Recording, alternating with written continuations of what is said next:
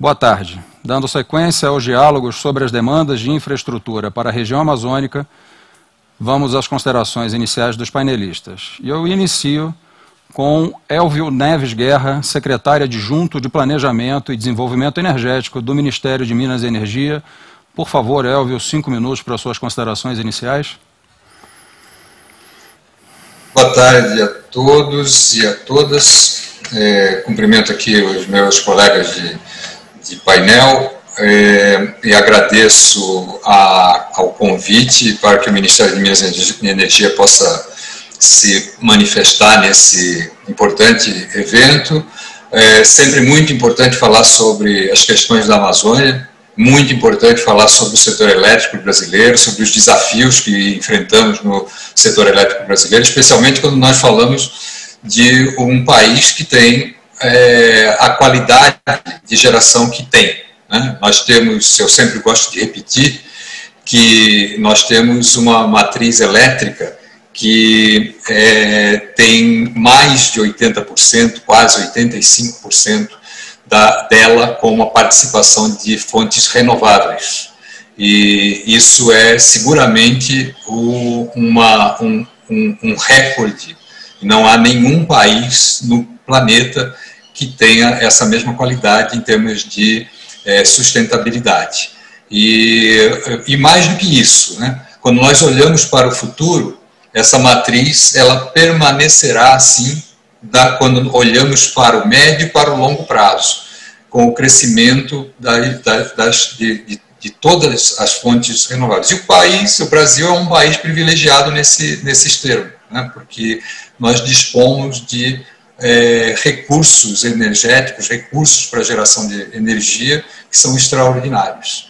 E quando nós olhamos para a Amazônia, é, é, é, nós, nós reafirmamos isso. Né? Nós temos uma condição de geração de energia extremamente conveniente, extremamente sustentável e que muito boa pra, para a para manutenção do, do, da, da, nossa qualidade, da qualidade da nossa matriz. É, então eu quero parabenizar a CNI pela, pela proposta de, desse, desse evento e para discutir um tema tão importante quanto, quanto esse, e eu ficaria nesse, nessa primeira observação dentro desse tempo e depois me coloco aí à disposição para falar um pouco mais sobre a nossa matriz elétrica e a nossa matriz energética. Muito obrigado, Elvio. Eu passo a palavra agora ao Ricardo Botelho, CEO da Energisa. Ricardo, por favor, cinco minutos para suas considerações iniciais. Boa tarde, boa tarde a todos os participantes que nos assistem nesse momento. Eu gostaria de agradecer ao Marcelo, pela presidente da Fiero e a da Agência de Desenvolvimento de Porto Velho, pelo convite, e a CNI também. É um grande prazer estar aqui nesse debate para a gente poder falar do setor de infraestrutura uh, e a sua importância para o desenvolvimento da Amazônia. É, principalmente de Rondônia também, onde nós, e no Acre, onde nós estamos, principalmente. Gostaria de parabenizar a Prefeitura também de Porto Velho, que, pelo apoio para essa iniciativa de preparação para o evento a Amazônia Mais 21, o Fórum Mundial de Desenvolvimento Sustentável da Amazônia, que vai ocorrer no mês de novembro também. Eu gostaria de saudar todos os demais uh, participantes desse painel. É, nós temos aqui presente né, o Edson, o, o Dr. Elvio, uh, Marcelo Moraes, uh, o Márcio Takata, que, que quem terei, terei a honra aqui de participar desse painel de debate. Bom, minhas palavras iniciais seriam no sentido de colocar aqui um contexto né, do momento que a gente vive. Né, a gente está no momento único para discussões do desenvolvimento sustentável. É, a pandemia ela ampliou a relevância de termo, de, em temas globais, como questão ambiental, que já vinha sido, que já tinha já uma certa importância, uma relevância muito grande, é, e nós vimos como que nós ficamos vulneráveis, por exemplo, por conta de um vírus surgido na China. E as mudanças climáticas têm a mesma natureza é, de uma crise global de grandes proporções. Mais recentemente, as queimadas na Austrália, é, na Califórnia, no Pantanal e na Amazônia, é, voltaram a frequentar as pautas uh, dos jornais e a atenção da opinião pública sobre a importância da preservação dos ecossistemas naturais é, desses efeitos climáticos extremos e também, de certa forma, da ação do homem nesse ecossistema. E a temática da Amazônia, pela sua grande importância como patrimônio é, natural para a sustentabilidade da vida na Terra, tem despertado aí debates bastante acalorados, opiniões bastante polarizadas também, e nós, mas nós temos que ter um olhar é, para essa questão fora das paixões ideológicas, mas sem abrir mão também da nossa soberania sobre esse território, é, mas precisamos encontrar formas né, de debater esse tema com o mundo em bases é, mais racionais. E é uma temática estratégica para o país e da mais alta relevância nesse momento. E dependendo também de como que a gente discute com o mundo e de como a gente valoriza esse patrimônio, podemos tirar bastante proveito dessa discussão, ou podemos, ao contrário, também, se nós não agirmos de uma forma responsável e de uma forma inteligente, é, nós ficarmos alienado, alienados, isolados no mundo comercial e possivelmente também sem acesso a, a capitais e aos investimentos. E o setor de infraestrutura ele tem um papel fundamental e muito importante dentro da sociedade brasileira é, e a desempenhar também nesse assunto, né? assim como também o setor agropecuário, o setor de mineração, a indústria de transformação e as atividades extrativistas. Nós esperamos, eu espero que na, na nossa conversa de hoje a gente possa avançar é, com algumas questões, algumas discussões de interesse para o desenvolvimento econômico sustentável é, da região é, e do país. E mais tarde eu posso fazer alguma complementação da nossa atividade na região e alguns outros pontos. Muito obrigado, Ricardo. Eu passo a palavra agora a Edson Luiz da Silva, CEO da Energia Sustentável do Brasil, que é a detentora da usina de Geral. Edson, por favor. Ah, obrigado, Marcelo, é, pelo convite. É uma satisfação poder é, compartilhar é, com vocês né, nessa mesa é, com colegas né, que já conhecemos de alguma, alguma data, né, o Ricardo, o Elvio, o Marcelo. Estou conhecendo hoje o Márcio e, e o Fernando. Então, muito boa tarde a todos. Né. É, eu gostaria inicialmente de falar um pouco sobre Giral, é, justamente porque Giral é um marco para o desenvolvimento da, da região amazônica. É, Giral é uma usina é, que foi concebida para ser integrada ao sistema é, elétrico brasileiro, interligado, e, e é uma usina que nós chamamos né, de uma usina de safra, que é, tudo foi feito ali para que é, o impacto ambiental fosse o mínimo possível. Então, é um grande exemplo de desenvolvimento é, sustentável e então ela produz né, no máximo dela no chamado inverno amazônico, que começa em dezembro, na gestão dos preparativos para iniciar a colheita dessa próxima safra, né? E então é, é um projeto é, não apenas integrado ao sistema elétrico, como eu falei, mas eu é, sempre quando visito a usina, né, é, fico muito realizado por perceber que é de fato uma usina integrada é, ambientalmente né, e também socialmente. Né. É, mais recentemente, como já foi mencionado aqui, é, tivemos o pico da, da, da, pandemia e continuamos né, com toda essa situação indesejável, mas é, é, é impressionante a dedicação dos nossos é, colaboradores que mantiveram, estão mantendo a usina operando, operando com total segurança e, e também com muita responsabilidade. E tivemos apenas é, 12 casos de, de, contaminação entre nossos colaboradores, o que demonstra o, o comprometimento é, de todos eles, não apenas com, com a empresa em si, mas também com a sociedade. Né? Tivemos inúmeras iniciativas em que a empresa fez doações é, no mesmo montante que os empregados, onde fizemos doações de é, equipamentos de proteção individual, máscara, cesta básica, enfim, é, foi um, um momento é, muito interessante, pelo menos para mim, que estou completando agora um ano de empresa, né, e pude ver, a, a perceber a força dos nossos é, colaboradores. Tá?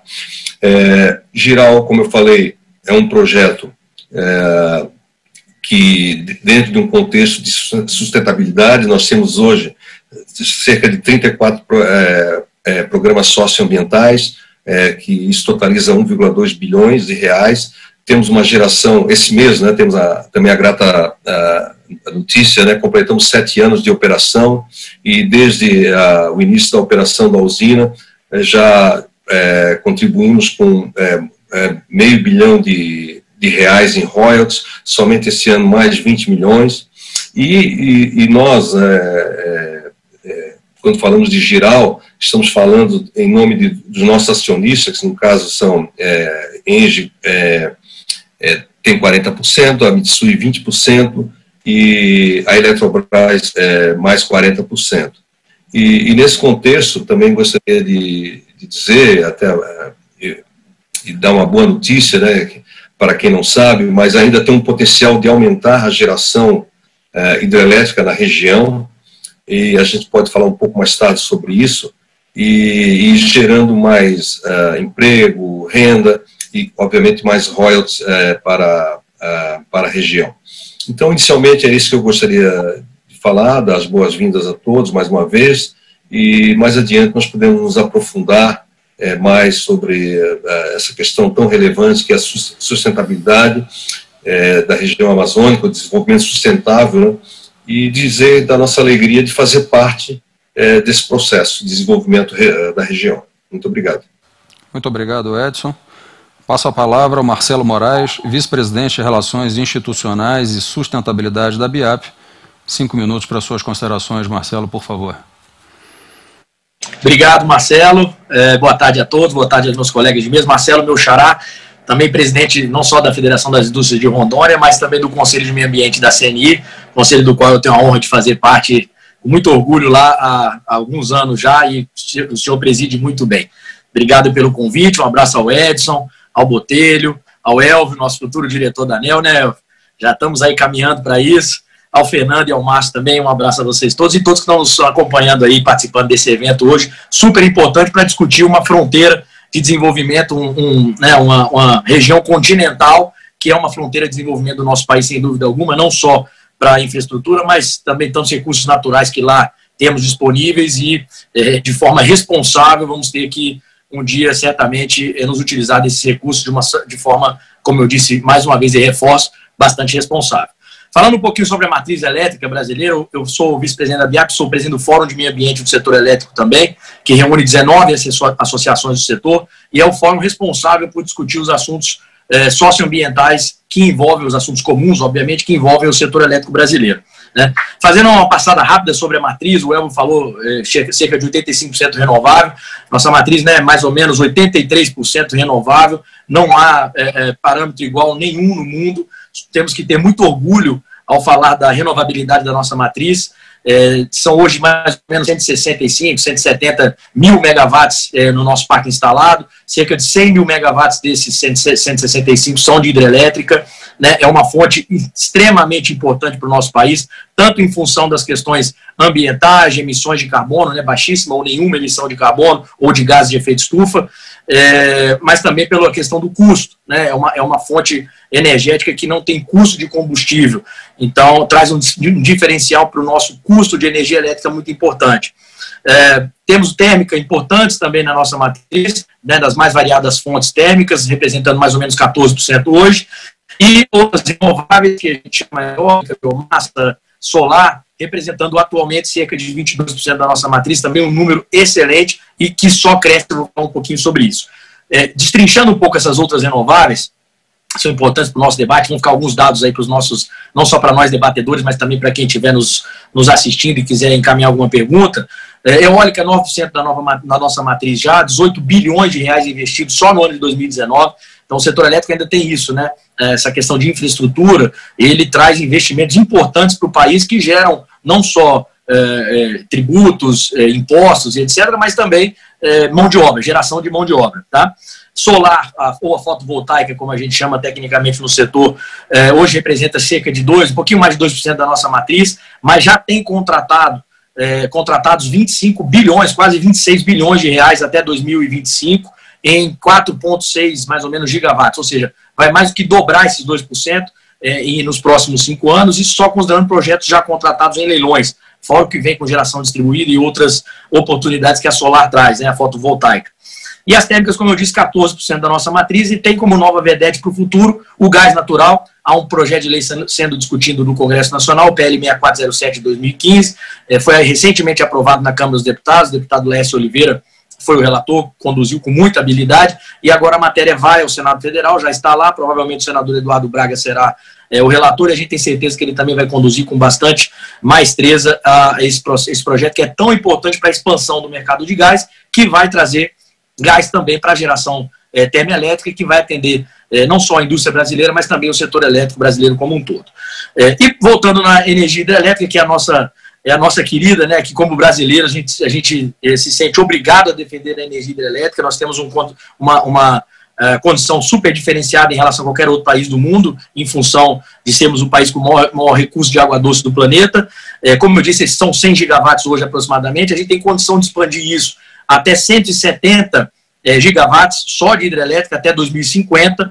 25% mais ou menos dessa expansão, desses 70 gigawatts de expansão, não estão em áreas sobrepostas a nenhum tipo de proteção, tá? isso é importante dizer. Mas no Brasil, ao se falar que vai, vai, vai se construir uma hidrelétrica, no dia seguinte, a notícia vem uma unidade de conservação, vem um pedido de uma reivindicação de terra indígena, uma reivindicação de terra, terra quilombola. Enfim, hoje, é, na apresentação que a gente faz, a gente tem um mapinha, infelizmente não vai poder mostrar hoje, mostrando o mosaico que virou o, o, Brasil em termos de áreas protegidas, né? É, praticamente inviabilizando não só atividades econômicas como a agricultura, a pecuária, que são é, bastante debatidas nesse sentido, mas também a exploração de recursos hidrelétricos para geração de energia elétrica, que é tão importante para o país em função daquilo que eu falei anteriormente, principal, principalmente a modicidade é, tarifária. Só para vocês terem uma ideia, hoje, em, é, em breve, nós atingiremos cerca de 37% do território nacional protegido. 37% do território nacional, um país gigantesco, é, um país continental como nós, o Brasil. Isso sem contar áreas prioritárias e sem contar quase 450 é, é, reivindicações de, de terras indígenas que existem hoje no Ministério da Justiça para serem apreciadas pelo, pelo Executivo e pelo Congresso Nacional Brasileiro. Em menos de 10 anos, tudo isso, já usando dados do, do, do PDE, o Plano, Plano Decenal de Energia, né, produzido pela empresa de pesquisa energética EPE, em menos de 10 anos, ou seja, até 2029, a nossa, a nosso parque hídrico vai reduzir de 64% da matriz para 49%, temos que estar atentos a isso, mais uma vez representa custo na, na conta do consumidor. A térmica aumenta de 14% para 19%. Espero que o gás até lá, né, até 2029, já esteja abundante aqui para que a gente possa ter um aumento eh, de emissões, mas sem um aumento de custo tão grande em relação a outras fontes térmicas que nós temos hoje. E as outras renováveis, eólica, biomassa solar, passando de 22% para 32%, excelente. É, é, é, somos também benchmark no mundo em relação ao avanço das renováveis. Vai equilibrar um pouco esse balanço, mas fica um saldo aí de térmicas a mais, a maior. Né, para o avanço das renováveis é necessário um backup firme, esse backup tem que ser hidrelétrico ou térmico reduzindo hidrelétrica, não resta outra alternativa a não ser a PAC térmica, e aí a gente é, tem que tomar cuidado com as emissões, o Brasil assumiu o compromisso, e nós temos que tomar cuidado porque o setor elétrico, fatalmente, mesmo com o avanço das outras renováveis, vai, vai aumentar também as suas emissões. Para terminar, novas tecnologias que nós temos disponíveis, armazenamento, já começou em pequena escala, né? existem projetos para armazenamentos para projetos maiores, ainda não é uma realidade, mas vai ser em breve, temos que estar tá, é, é, saindo na frente nisso também. Soluções híbridas de geração, ou seja, hidrelétrica com solar, solar com eólica, é, hidrelétrica com eólica, hidrelétrica com térmica, solar com térmica, para a gente aproveitar melhor não só as redes, mas também as subestações, mas principalmente as redes de transmissão que existem no Brasil, redes de milhares de quilômetros em alguns casos. Eólicas offshore também começam a ser discutidas, há necessidade de uma legislação específica que já vai estar sendo trabalhada pelo Congresso Nacional, e a modernização do setor elétrico, conduzida é, no, no, Senado Federal por um senador aí do estado de Rondônia, é, quem, quem estiver em Rondônia, né, do estado de Rondônia, o senador Marcos Rogério, é, que também conduziu muito bem esse processo no Senado, está na fase do plenário e em breve vai para a Câmara para trazer tecnologias novas e modernidade para o setor elétrico brasileiro. Por fim, dois desafios importantes, licenciamento ambiental, também um projeto de lei que está no Congresso. Impressionante a dependência que a gente tem do Congresso. É bom, né? É, o equilíbrio entre os poderes, mas somos dependentes do Congresso para quase tudo. E o licenciamento ambiental não é diferente. Esse projeto hoje já tramita há mais de 16 anos na Câmara, é de 2004, 3729. É, o relator é o deputado Kim Kataguiri, vai apresentar sua quinta versão agora em breve, e tem dois objetivos básicos: simplificação dos processos é, e segurança jurídica. É isso que o projeto traz, basicamente, é bastante combatido, não há perda de qualidade no que tem escrito hoje no projeto hoje, é, atualmente, no, no, nos processos de licenciamento, portanto, a gente entende que é um projeto importante, que deve ser votado o mais breve possível, a expectativa é que seja é, tão logo passe as eleições ah, no mês de novembro, talvez finalizando até até o final do ano. E o outro ponto de atenção, desafio, mudanças climáticas, como eu disse antes, o setor elétrico é responsável por apenas 2% das emissões brasileiras, 2% só. É, portanto, a gente pede para o governo, e o Elvio está aqui nos acompanhando, né, o Ministério de Minas e Energia, é, para tomar bastante cuidado com compromissos assumidos para o setor elétrico, que é um setor que emite muito pouco e vai fatalmente ter algum avanço de térmica é, nos próximos anos, é inevitável, portanto, estrangulando um pouco a questão das nossas, é, das nossas emissões. Né? Só finalizando, tudo isso que eu falei aqui agora, essas mudanças todas, o, o principal uh, ator disso tudo é o nosso consumidor, seja ele residencial, comercial, rural, ou no caso de vocês, né, o industrial, todos, tudo, todas as opções que nós tomamos como sociedade vão, re, vão ser rebatidas na conta do consumidor. Então é, é importante que tomemos as melhores possíveis para que os impactos sejam zero ou até negativos, trazendo modicidade tarifária que é tão importante para o avanço é, da indústria brasileira. Obrigado, Marcelo. Marcelo, muito obrigado. Eh, passo a palavra ao Fernando Vernalha, da Vernalha Guimarães e Pereira Advogados, para suas considerações iniciais. Boa tarde a todos, boa tarde, Marcelo. Quero dizer que é uma satisfação participar desse evento importante, quero agradecer o convite e cumprimentar os organizadores por é, propiciar essa discussão, né, uma discussão da mais alta relevância, muito atual, e, e que diz respeito ao desenvolvimento da região amazônica, que é uma região é, estratégica para o país, ao mesmo tempo tão rica e tão pobre, né? E, e, mas com muito potencial de desenvolver empreendimentos no setor de infraestrutura, atrair investimentos privados para desenvolver é, empreendimentos no setor de infraestrutura e, muito especialmente, avançar aí com a universalização de serviços básicos, que eu acho que a região é muito carente em relação a alguns desses serviços, como, por exemplo, saneamento. É, eu, eu quero aqui trazer uma contribuição da perspectiva de quem tem é, participado da estruturação aí de grandes projetos na área de infraestrutura, como consultor jurídico, né, eu sou advogado, sou consultor jurídico, tenho também uma carreira acadêmica voltada para para esses é, mecanismos aí de cooperação público-privada, acho que o meu papel aqui é trazer uma fala é, é, uma abordagem mais operacional, não tanto focada no setor elétrico. Acho que o setor elétrico a gente já tem aqui é, é, é grandes especialistas. Eu acho que o meu papel aqui é trazer uma abordagem mais operacional para como fiabilizar por meio de concessões, de parcerias público-privadas e outras técnicas aí de cooperação público-privada, atrair o investimento privado para que a gente possa é, desenvolver a região amazônica. Né? A gente sabe que o Brasil, é, como país emergente, tem uma agenda muito exigente para investimentos em infraestrutura. É, a gente tem, é, historicamente, investido 1,5% a 2% do PIB, a gente precisa dobrar, pelo menos, pelos próximos 20, 30 anos, né, para a gente conseguir avançar, é, expandir a nossa infraestrutura infraestrutura, para a gente ter uma infraestrutura básica, né? Então nós estamos muito defasados é, com essa agenda e, e a gente vive um contexto de muita dificuldade fiscal, restrição fiscal pelas administrações públicas, que não tem orçamento público para viabilizar esses investimentos. Então a única alternativa é a gente buscar isso no setor privado. Os mecanismos para isso são esses contratos de longo prazo e as concessões, principalmente as concessões e as parcerias público-privadas, que eu acho que são mecanismos interessantes é, que nós, nós podemos é, utilizar, desenvolver para viabilizar esses investimentos privados para empreendimentos de infraestrutura pública. A gente já, já vem fazendo isso, acho que o, o governo federal nos últimos anos tem feito esforços né, para é, viabilizar projetos de infraestrutura, inclusive é, viabilizar projetos para os entes subnacionais, né, é, dando suporte técnico aos entes subnacionais. A gente vê que a carteira do PPI hoje é uma carteira relativamente abrangente não, e envolve não só projetos federais, mas projetos subnacionais importantes também. Temos uma agenda de saneamento, água e esgoto, uma agenda de resíduos sólidos também. É, então, eu acho que é, é, da mais alta importância que se discuta é, os desafios né, e os gargalos que nós temos para não só estruturar, mas gerir esses projetos no longo prazo, é, por exemplo, no âmbito da região amazônica, né, que é uma região carente de serviços essenciais, como eu disse.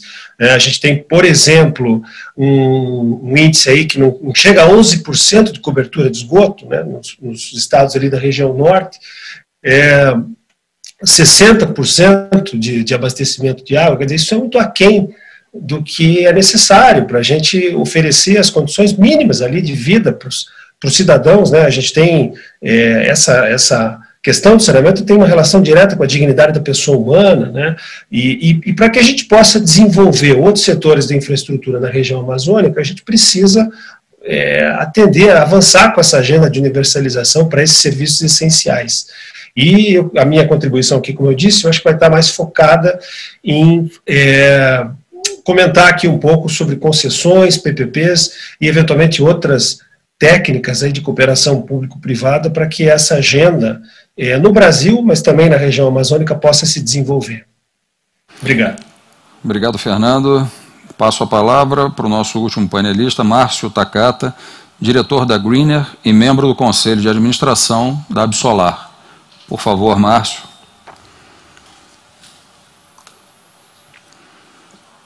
Seu áudio está desligado, seu microfone está desligado, Márcio, por favor. Agora sim. Boa tarde a todos. Muito obrigado pela oportunidade, é, sobretudo desse bate-papo aqui com os nossos colegas e também o público que está acompanhando. É um tema tão relevante, né, que é o desenvolvimento é, sustentável da Amazônia, baseado em infraestrutura e energia limpa. Então, temas aí altamente relevantes. Então, um grande prazer aí esse, essa conversa com todos vocês. Eu vou pedir aqui para a área técnica, se puderem compartilhar a apresentação é, que eu mandei para vocês, por favor. É, bem, a Absolar, representa a Absolar, conselheiro da Absolar, e a Absolar, Associação Brasileira de Energia Solar Fotovoltaica, representa a, o setor de energia solar no Brasil, é, trazendo pautas né, e sendo um ponto de encontro para discussões é, desenvolvimento da cadeia da energia solar aqui no Brasil. É, Bem, eu acho que eu, eu tenho que fazer alguma coisa aqui, só para perguntar aqui para a área técnica, senão eu, eu, eu vou apresentando aqui esse tema. Assim que vocês conseguirem, a gente compartilha. Bem, é, a energia solar fotovoltaica, ela vem se desenvolvendo de maneira bastante é, relevante ao longo dos últimos anos, aqui no Brasil, no mundo inteiro, mas aqui no Brasil, é, sendo aí um importante driver aí de crescimento das energias renováveis é, no mundo. Né? E a gente pode dizer que aqui no Brasil dada as diferentes condições, tornam aqui a tecnologia é, um fator importante também é, é, no auxílio é, e na contribuição para uma matriz ainda mais sustentável. E nesse sentido, é, a energia solar tem um papel bastante importante é, em contribuir ao desenvolvimento sustentável na região da Amazônia. Né? a gente tem aí uma participação de mais de 370 megas hoje é, de sistemas de energia solar cobrindo regiões aí da Amazônia, é, na geração distribuída, e uma série de aplicações é, também em regiões isoladas é, da Amazônia, tá?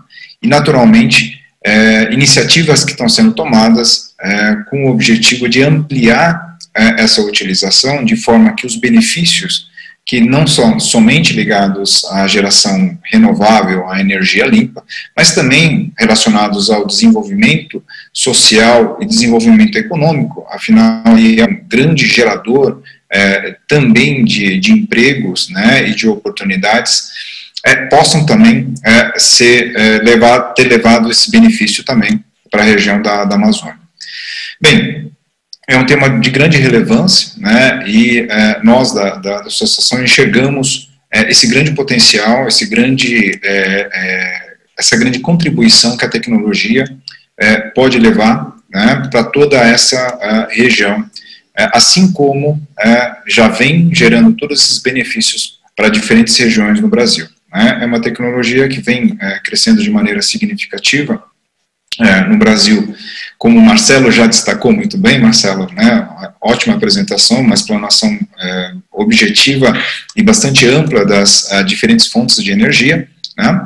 e é uma tecnologia que vem se desenvolvendo não só uh, no formato de geração centralizada, né, que ultrapassa mais de 3 gigawatts de capacidade instalada já em operação aqui no Brasil, mas também é, o conceito de geração distribuída, que recentemente ultrapassou aí os 3 gigawatts, somando mais de 6 gigawatts de capacidade instalada aqui no Brasil, e a gente pode dizer que é, ainda é só o começo, ou seja, toda a evolução tecnológica que a gente vem vivendo ao longo dos últimos anos e o que ainda vem, é, vão certamente criar condições para que a, a energia cada vez mais sustentável, a custos competitivos, né, e uma energia, sobretudo, limpa, é, possa ser acessível para a ampla maioria da população aqui no Brasil.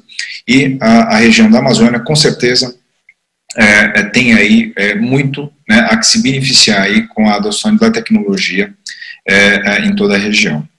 Então, finalizando aqui, gostaria de agradecer novamente aí a oportunidade desse papo com todos vocês. Muito obrigado, Márcio. Bom, temos seis painelistas, todos, né, a gente quer ouvir a todos com a maior profundidade possível. Eu vou pedir para que é, possamos ter respostas mais concisas, a fim de, de que a gente possa conversar mais, ouvir todos e, e estimular o debate. A região amazônica, por sua complexidade, decorrente de sua extensão e suas especificidades, e especificidades de suas características ambientais, econômicas e sociais, sempre foi um tema de difícil solução quando falamos em desenvolvimento sustentável. Ou seja, a possibilidade de conseguirmos verdadeiros avanços econômicos e sociais, sem com isso comprometer a integridade da floresta, do seu bioma diverso e dos aspectos culturais que marcam a autonomia das comunidades e dos povos amazônicos. Especialistas têm defendido a necessidade de se estabelecer uma governança efetiva, buscando uma articulação federativa para que as ações e programas a serem implantados sigam na mesma velocidade ou sigam na velocidade necessária, em harmonia com os requisitos ambientais e a legislação de direitos humanos. Então, eu faço uma pergunta a todos, uh, e, e, eu sigo a mesma sequência da, da, das apresentações. Como vocês interpretam essa situação e quais caminhos devem ser seguidos para que demandas de infraestrutura possam ser atendidas com maior efetividade? Como transpor os obstáculos que mantêm os mais de 24 milhões de habitantes da Amazônia em condições difíceis do ponto de vista socioeconômico? Elvio, por favor, sua resposta.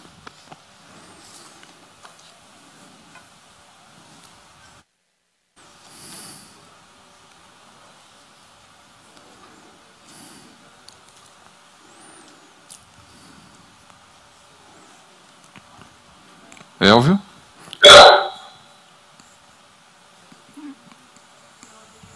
Seu, seu eu estava tentando, achar aqui o meu, o meu microfone, desculpe. Mas estamos, é, estamos, ouvindo, estamos te ouvindo agora, bem. Agora, agora eu achei e já estou. Bom, é, eu, eu, quero fazer aqui uma, algumas observações e eu acho que é, tudo que você coloca se relaciona é, com o que nós é, discutimos aqui em termos de planejamento, quando olhamos, obviamente, para o setor elétrico, a área de energia, se relaciona aquilo que nós tratamos em termos de planejamento do setor elétrico. Então, veja só, nós, é, o nosso planejamento setorial ele está baseado em, em, em dois planos principais. Quer dizer, um plano que olha 10 anos à frente e um plano que olha 30 anos à frente. Hoje nós estamos com o plano decenal, que é o plano decenal de expansão, chamado plano decenal de expansão. O que está em vigor é o plano 2029 e estamos em fase de elaboração do plano 2030. É, e temos, está em discussão, está em, em consulta pública, inclusive, o plano nacional de energia, é o plano que olha 30 anos à frente, portanto, estamos falando do plano 2050. É, quando nós tratamos desses dois, quando falamos desses dois planos, nós olhamos para o país como um todo. Então, a, aquilo que se, que se fala em termos de desenvolvimento é, setorial, olhando para o setor elétrico, área energia, né, as duas coisas simultaneamente. Quando nós olhamos para isso, nós estamos olhando o país, olhando o país e olhando a região amazônica. Então, quando nós, o, o, o, Marcelo colocou muito bem alguns dados importantes, né, a nossa matriz, repetindo aquilo que disse inicialmente, a nossa matriz ela é uma matriz limpa. Então, do ponto de vista da sustentabilidade, né, e isso vale para o país inteiro, mas olhando para a Amazônia, sustentabilidade da Amazônia, eh, nós não temos dúvida de que a contribuição do setor elétrico e aquilo que consta dos nossos planos, ela é uma contribuição muito importante para que isso ocorra. Então, nós temos hoje, é, quando nós falamos de, de, de é, sustentabilidade da nossa matriz, hoje nós temos uma matriz com 83%, um pouco mais de 83%, 83% de renováveis, de participação de renováveis. Isso se mantendo, isso vale para o país como um todo. Então, a, a, a, questão da sustentabilidade, ela está presente no nosso planejamento sem, sem, sem dúvida alguma.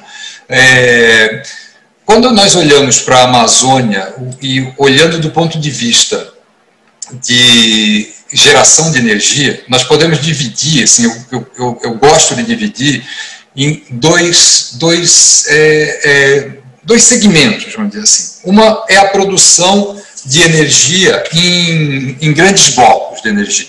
E aí a gente tem as grandes usinas hidrelétricas, a gente está falando aí de, de, especialmente de Giral e Santo Antônio, como, como colocou o Edson Luiz, é, e nós temos a questão da, da, da, da, geração, da produção em pequena escala, aquela produção que vai atender, aí sim, aquelas, aquelas comunidades que estão isoladas e que possivelmente permanecerão isoladas. Então, essa é uma forma de inserção, o aproveitamento energético da região, é, da biomassa, o aproveitamento da energia solar fotovoltaica, especialmente a solar fotovoltaica, é, a questão da, da, da, da, da, energia hidráulica em pequena escala, que ainda é possível em algumas regiões da Amazônia. Então, eu acho que isso contribui para a inserção da, das comunidades, inserção da população que vive na Amazônia é, nessa, nessa é, é, a inserção dessa região e dessas pessoas é, na, na, na, na, nossa a inserção nacional dessa, dessas comunidades. Então, veja só, o que eu, eu gosto de citar sempre um, um caso, como que a, a, a Amazônia, como que as populações que vivem nos sistemas isolados, como é que elas podem ser inseridas na economia, inseridas no mercado, inseridas socialmente. É, eu, eu acompanhei durante um tempo um projeto na Amazônia, que é, foi um projeto bastante interessante, que era de geração de energia elétrica a partir de, é, a partir de óleos vegetais.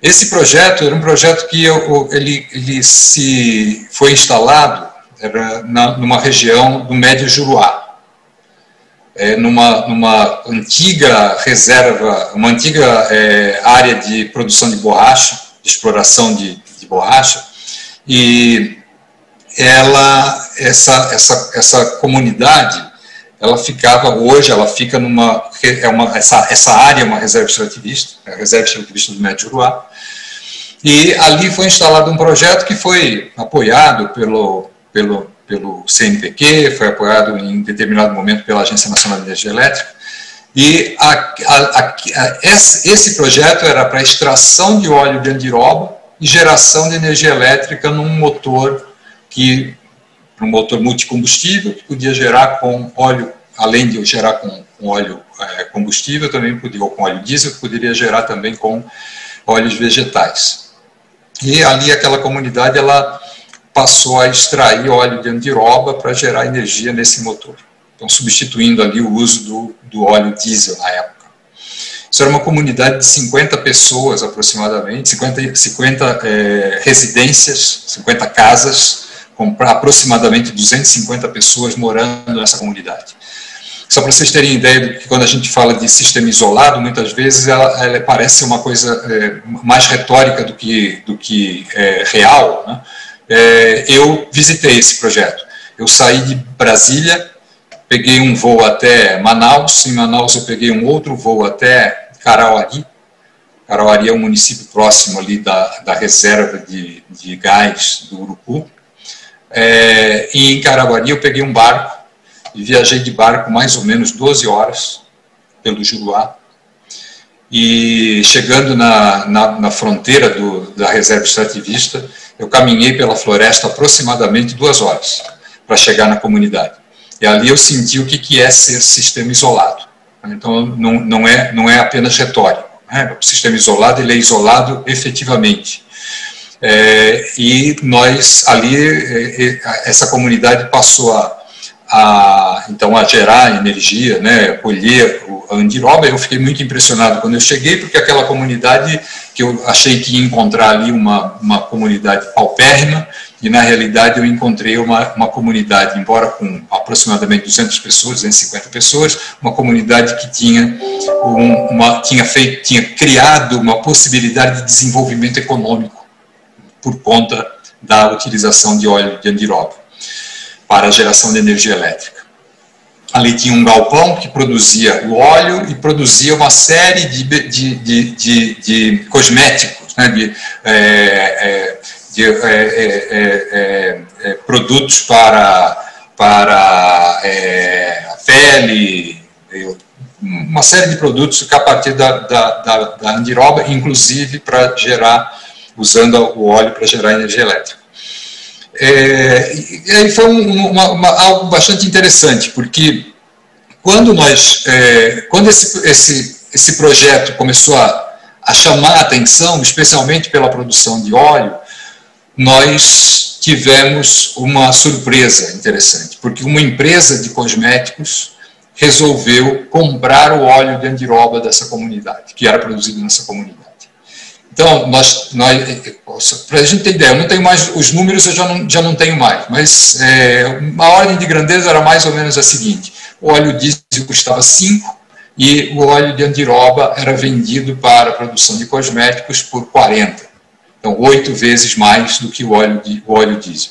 Isso gerou um, um processo de desenvolvimento dessa comunidade e é, o, a, a, geração de energia elétrica ela passou a ser quase que um subproduto ali da, daquela, daquele, daquele desenvolvimento econômico. Então, isso, para mim, é a inserção que nós podemos trazer para essas comunidades que estão isoladas na região. E o, a energia elétrica, eu cito esse caso porque ali começou com a questão de geração de energia elétrica em substituição a óleo, né, que acabou levando a um, a um desenvolvimento econômico, um desenvolvimento social daquela comunidade, e isso pode ser, pode acontecer em todas as comunidades que estão na região amazônica que são isoladas. E o Ministério de Minas e Energia ele tem trabalhado para isso. Né? Quando nós olhamos, por exemplo, para o programa Luz para Todos, é, ou, ou, agora o programa Mais Luz para a Amazônia, né? o programa Mais Luz para a Amazônia ele tem exatamente esse é, desafio, né? ele tem essa proposta e ele tem esse desafio, levar energia e usar a energia como um vetor do desenvolvimento social, desenvolvimento econômico da região. É, e, nós, e, e, e o, a, a, possibilidade de geração de energia elétrica na região ela é altíssima. Né? Quando nós falamos de grandes empreendimentos, eu não tenho dúvida que mesmo os grandes empreendimentos eles estão inseridos na, na, na, na Amazônia de forma sustentável. Então, se a gente pegar o, o, o, empreendimento, e aí, claro, não, não vou substituir aqui o Edson para falar de, de, de Giral, mas se nós pegarmos o empreendimento Giral, Giral é um empreendimento que ele, ele, ele, ele, ele se desenvolveu gerando, gerando benefícios para aquela região e, é, a, e, continua fazendo isso. Né? Então, se você olha o que era aquela região antes de da implantação do empreendimento giral, e isso vale para Santo Antônio, e eu poderia citar outros casos, como Belo Monte, por exemplo, é, nós vamos ter uma, uma, uma, uma situação, olhando para o empreendimento hoje, completamente diferente daquilo que nós tínhamos no passado, é, nas comunidades que estão no entorno da, da, da, das, dessas usinas. Então, tanto os grandes empreendimentos, quanto o aproveitamento da, das, das, eh, dos recursos naturais, dos recursos que a, a, Amazônia tem para produção de energia e, portanto, produção do desenvolvimento econômico e social, é, eles se dão de forma sustentável, sem, sem, sem, sem nenhuma dúvida, e eles inserem, eles têm essa capacidade de, de gerar o desenvolvimento social, de gerar o desenvolvimento econômico, é, que vão assegurar a inserção dessas comunidades. É, e, e um, um, um, dado interessante, é, eu, eu, gosto muito de repetir isso, talvez não, não valendo menos para a Amazônia do que para outras regiões, mas é, vamos olhar para as pequenas centrais hidrelétricas, se a gente quiser ficar nos pequenos empreendimentos. Né? Isso, embora a Amazônia, mais para o norte da Amazônia, nós temos uma, uma, possibilidade maior de pequenos empreendimentos hidrelétricos, mas o, a, a pequena central hidrelétrica ela tem uma capacidade de de mobilizar a economia, ela tem uma capacidade de inserir as pessoas na, no, na, na, na, na região ou nas regiões, que é muito interessante.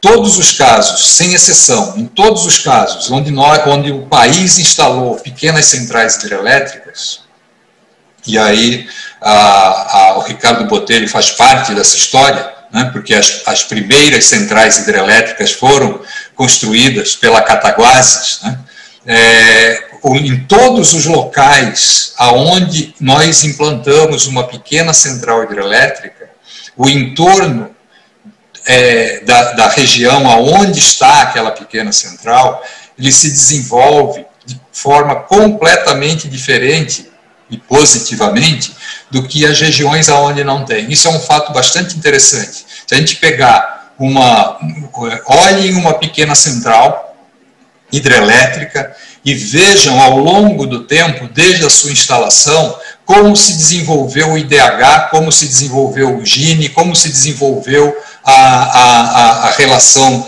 a relação de, de emprego e renda se desenvolveu de forma completamente diferente, mais positivamente do que, do que as regiões é, onde essas usinas não estão implantadas. Então, eu, é, é, é, é esse o, esse é o, é o motivador né, do, da, do setor elétrico. Ele contribui para isso efetivamente, para a inserção e para a sustentabilidade.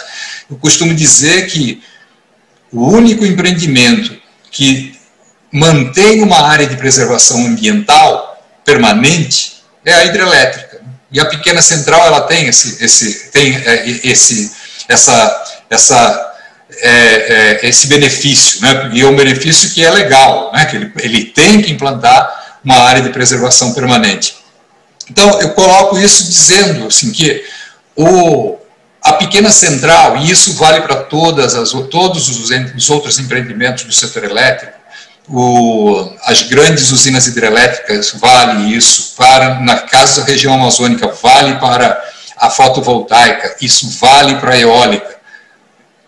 A, a, o setor elétrico, ou esses empreendimentos de geração, eles são verdadeiros polos de desenvolvimento. Eles, eles, aonde eles se instalam, eles irradiam o desenvolvimento. Então, nós não temos nenhuma dúvida da contribuição que o setor elétrico tem para a sustentabilidade da região, a preservação da região e a, a, a, a inserção das, das, das, comunidades. E para finalizar, é, curiosamente, se nós pegarmos é, alguns casos de empreendimentos que não puderam ser instalados, isso é uma coisa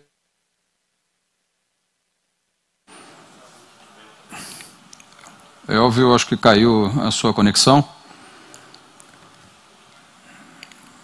Elvio? Bom, o Elvio retornando, a gente, a gente repassa a palavra. É, então agora eu convido o Ricardo Botelho a responder a pergunta, como é que a gente efetiva essa infraestrutura, a Energisa, que há pouco chegou em Rondônia e Acre, tem um compromisso de expandir a rede de transmissão do Estado, levando energia limpa em substituição, ah, como citou o Elvio, ah, áreas isoladas, ah, ao mesmo tempo em que eu, eu, gostaria de ouvir um pouco mais sobre o, o, o, programa Mais Luz para a Amazônia. Por favor, Ricardo. Obrigado aqui, Marcelo. É, primeiramente, o Elvio já voltou aqui, não sei se ele quer concluir a, a parte dele para não eu ser... Caído, eu tenho caído, Ricardo. Eu sou se, se, você me permitir pegar só dois minutos. Fique à vontade, fique à vontade, por favor. Tá, só dois minutos só para concluir a questão de Santa Isabel. Se você olhar o local aonde seria construído Santa Isabel, e por conta de uma restrição ambiental não pôde ser construído, se você olhar o, aquela localidade aonde seria construído, e olhando essa, essa, essa mesma localidade hoje, existe uma degradação ambiental muito grande, mesmo sem a implantação do empreendimento. A implantação do empreendimento certamente que contribuiria para a preservação da região, como todos os empreendimentos hidrelétricos têm feito. Era basicamente isso. Agradeço aí a, a ter tomado dois minutos aí do seu tempo, Ricardo. Obrigado, Elvio. Ricardo, por favor. Justamente, Elvio, foi um prazer ouvir aqui a tua exposição e, primeiramente, agradecer também por lembrar aí do nosso passado extenso aí de construção de PCH ao longo é, da história da empresa. Nós devemos ter colocado é, em funcionamento, em operação, mais de 30 PCHs, é, e uma história muito grande que nós nos orgulhamos muito pela, pela capacidade de engenharia, pelos benefícios e ter trazido isso no momento que o Brasil não falava, na década de 80. Então, as primeiras PCHs modernas do Brasil foram feitas lá pela nossa companhia nessa época, mas o nosso histórico vem de 1908, a primeira usina que nós construímos.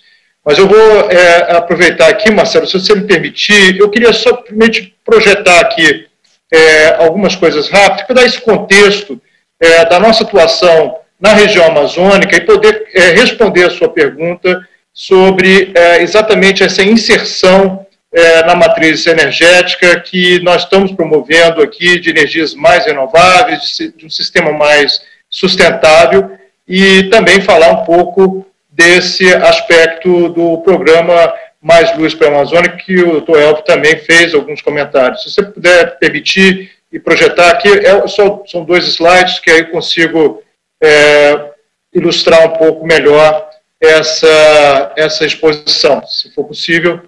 É, senão eu vou falando aqui e aí, é, acho que já deu aqui. Pode passar o próximo slide, por favor? Eu estou vendo aqui pela, pela tela pequenininha. É, perfeito. É, exatamente, exatamente. Estou ver se eu consigo ver aqui, porque eu estou com uma imagem muito, muito distante, eu estou sem a, o slide aqui. Mas, enfim, é, queria primeiramente dizer que o nosso grupo né, é um grupo é, centenário, é um grupo que tem 115 anos de atuação, ele, ele, ele tem uma atividade de distribuição como seu principal negócio, né? são mais de 8 milhões de brasileiros, 8 milhões de consumidores, quase que 20 poucos milhões de, de brasileiros atendidos pela Energisa em 11 empresas, e uma parte considerável dessas empresas uh, estão hoje uh, dentro do, da Amazônia Legal. Né? Nós estamos falando de Tocantins, nós estamos falando de Mato Grosso, nós estamos falando de Rondônia e nós estamos falando do Acre, né? É, sendo que essas duas empresas foram as duas empresas que nós chegamos mais, é, mais recentemente. Tá? E, e nós temos uma atividade também na área de geração, já foi comentado, tanto de pequeno porte quanto de grande porte, na área de transmissão. É, essa é a nossa atividade, vamos chamar, nós atendemos praticamente todos os segmentos da cadeia de valor do setor elétrico. E a nossa longevidade, ela se explica é, pelo foco permanente que nós temos de estar próximo à população, de atender com excelência os nossos consumidores, e foi com esse espírito realmente que nós desembarcamos na, na região norte, é, na Amazônia, nas suas franjas, como se diz, né? Nós já tínhamos uma posição é, estabelecida no Centro-Oeste, no Sudeste, no Nordeste, e nós identificamos realmente uma oportunidade é, bastante interessante de para Rondônia e Acre e de poder né, atuar é, com sinergia e com sustentabilidade. Né? É, é muito parecido com o trabalho que nós fizemos na década de 90 é, no final da década de 90, quando nós participamos da privatização é, de empresas lá no Nordeste, e está mais recentemente, na, em 2015, quando nós tivemos um papel fundamental na recuperação das empresas, das empresas do Grupo Rede, e foi um trabalho muito bem sucedido. Outras empresas hoje são empresas líderes aí. É, então, foi exatamente esse é, desafio né, é, que nos trouxe, né, ou essa experiência nos trouxe para esse desafio é, de transformar as empresas que estavam em situação muito complicadas, né, muito sucateadas, na, na, em Acre e Rondônia, sem condição de investir e para poder atender o consumidor adequadamente, né. Bom, enfim, e com isso conseguir fazer com que o tão é, é, desejado desenvolvimento econômico né, pudesse é, voltar a, a, florescer exatamente pelas op opções que nós damos, pelas condições que nós damos para que o agronegócio, a indústria e o comércio possam é, surgir, mas sempre com essa preocupação de preservação é, é, ambiental. Então, esse é o primeiro ponto que eu queria colocar aqui. É, eu vou passar agora para o próximo slide, dar uma ideia aqui, que é uma questão que foi trazida aqui do, do programa, da questão dos sistemas, das comunidades e dos consumidores que estão em uma região remota. Só para ter uma ideia, nós estimamos que em Rondônia nós temos é, 4 mil consumidores em regiões remotas, tá? Muitas delas são, muitos deles são pequenos produtores, é, nós não podemos estimar ainda é, se grande parte desses estão é, enquadrados em perfis de baixa renda. É, nós temos que avançar no cadastramento, mas nós fizemos um levantamento com base em é, fotografias e dados por satélite para fazer esse primeiro levantamento. Tá? E o nosso compromisso é investir em soluções é, sustentáveis para trazer a universalização e formar aí coalizões, tá? Para promover o desenvolvimento sustentável dessa região é, que venha junto com a, é, é, com, a, com a, energia elétrica, tal como o doutor Elvio colocou, nós queremos também viabilizar que essa produção é, nessas regiões elas possam ocorrer é, de uma maneira é, em que se gere também uma condição de desenvolvimento econômico sustentável. E o programa Mais Luz para a Amazônia, ele visa atender essas localidades remotas, ela foi definida com um decreto é, se não me engano, 10.221 de, de, de, desse ano, é, é, para atender principalmente pequenos agrupamentos de consumidores situados no, no, no sistema isolado, afastados de, de sedes municipais e caracterizados assim pela ausência total de escala, né? não estamos falando de pequenos agrupamentos ou pequenas unidades, e uma densidade muito rarefeita. Né? E as concessionárias que vão atuar nisso, elas vão ser um agente muito importante nesse projeto, como é, todos os outros que as concessionárias de energia elétrica participaram, por exemplo, como foi na universalização é, do programa Luz para Todos, né? E porque esse projeto ele consta, né? Ele, ele, ele, utiliza recursos aí de um fundo é, de desenvolvimento energético, né? Então, cabe às distribuidoras, por exemplo, indicar a melhor tecnologia, apresentar os projetos, executar os investimentos, né? e principalmente garantir a racionalidade de todo esse processo, já que se trata né, de uma alocação aí de recurso público aplicado é, em projeto de interesse social. Só para dar algumas características tá, desse programa que foi comentado aqui, é, ele abrange ativos de geração de energia elétrica com ou sem rede associada, é, que serão vinculados ao sistema de distribuição. É, ele tem uma questão de disponibilidade mensal de energia que pode ser definida pela própria distribuidora é, e submetida à, apreciação do MME. É, a participação né, do, do fundo CDE será de até 90% dos investimentos, e com isso desonera a tarifa dos consumidores, lá que nós estamos falando de um custo muito alto por unidade a ser conectada, e somente a, a, princípio, né, eu acho que isso está tá no decreto, só para consumidores classificados com baixa renda seriam elegíveis. Tá? E termo, nós temos um termo de compromisso, foi colocado já, é, está sendo discutido lá no Ministério das Minas e Energia, o, o doutor Evo deve saber e, e esse assunto. É, nós prevemos enquadrar nessa primeira leva é, 3.260 é, consumidores, é, e um investimento total aí aproximadamente de 205 milhões de reais em dois anos. E eu aproveito também para aproveitar aqui que está o doutor Elva aqui, enquanto ainda é, do, do, secretário aqui do, do, do Ministério, é, para que se considere né, a possibilidade de ter outras tranches, tá? uma vez que nós estamos fazendo um amplo levantamento é, cadastral que é muito difícil de ser feito, tá? não, não temos redes nesses lugares, né? então nós temos que descobrir esse, esses consumidores, nós estamos fazendo um trabalho primeiro por satélite, nós estamos indo a campo para verificar se aquelas manchas que nós verificamos lá são de fato unidades elegíveis. Então, esse é um trabalho gigante que nós estamos fazendo para poder trazer é, essa informação. Então, portanto, a gente acredita que pode ser que nós tenhamos que é, endereçar mais tranches aí desse programa é, depois que nós constatarmos essa, é, esse levantamento. E um exemplo interessante também, doutor, é, é, o, é, alguns projetos que nós já estamos fazendo. Um deles eu também tive o privilégio de chegar lá depois de uma viagem de monomotor é, de uma hora, é, pousei em Marechal Tomaturgo, e Tomaturgo peguei uma canoinha, uma canoinha que me levou durante sete horas é, rio acima, é, do Rio Tejo, cheguei também lá numa região próxima do que eu, na verdade, um pouco mais ao sul, né?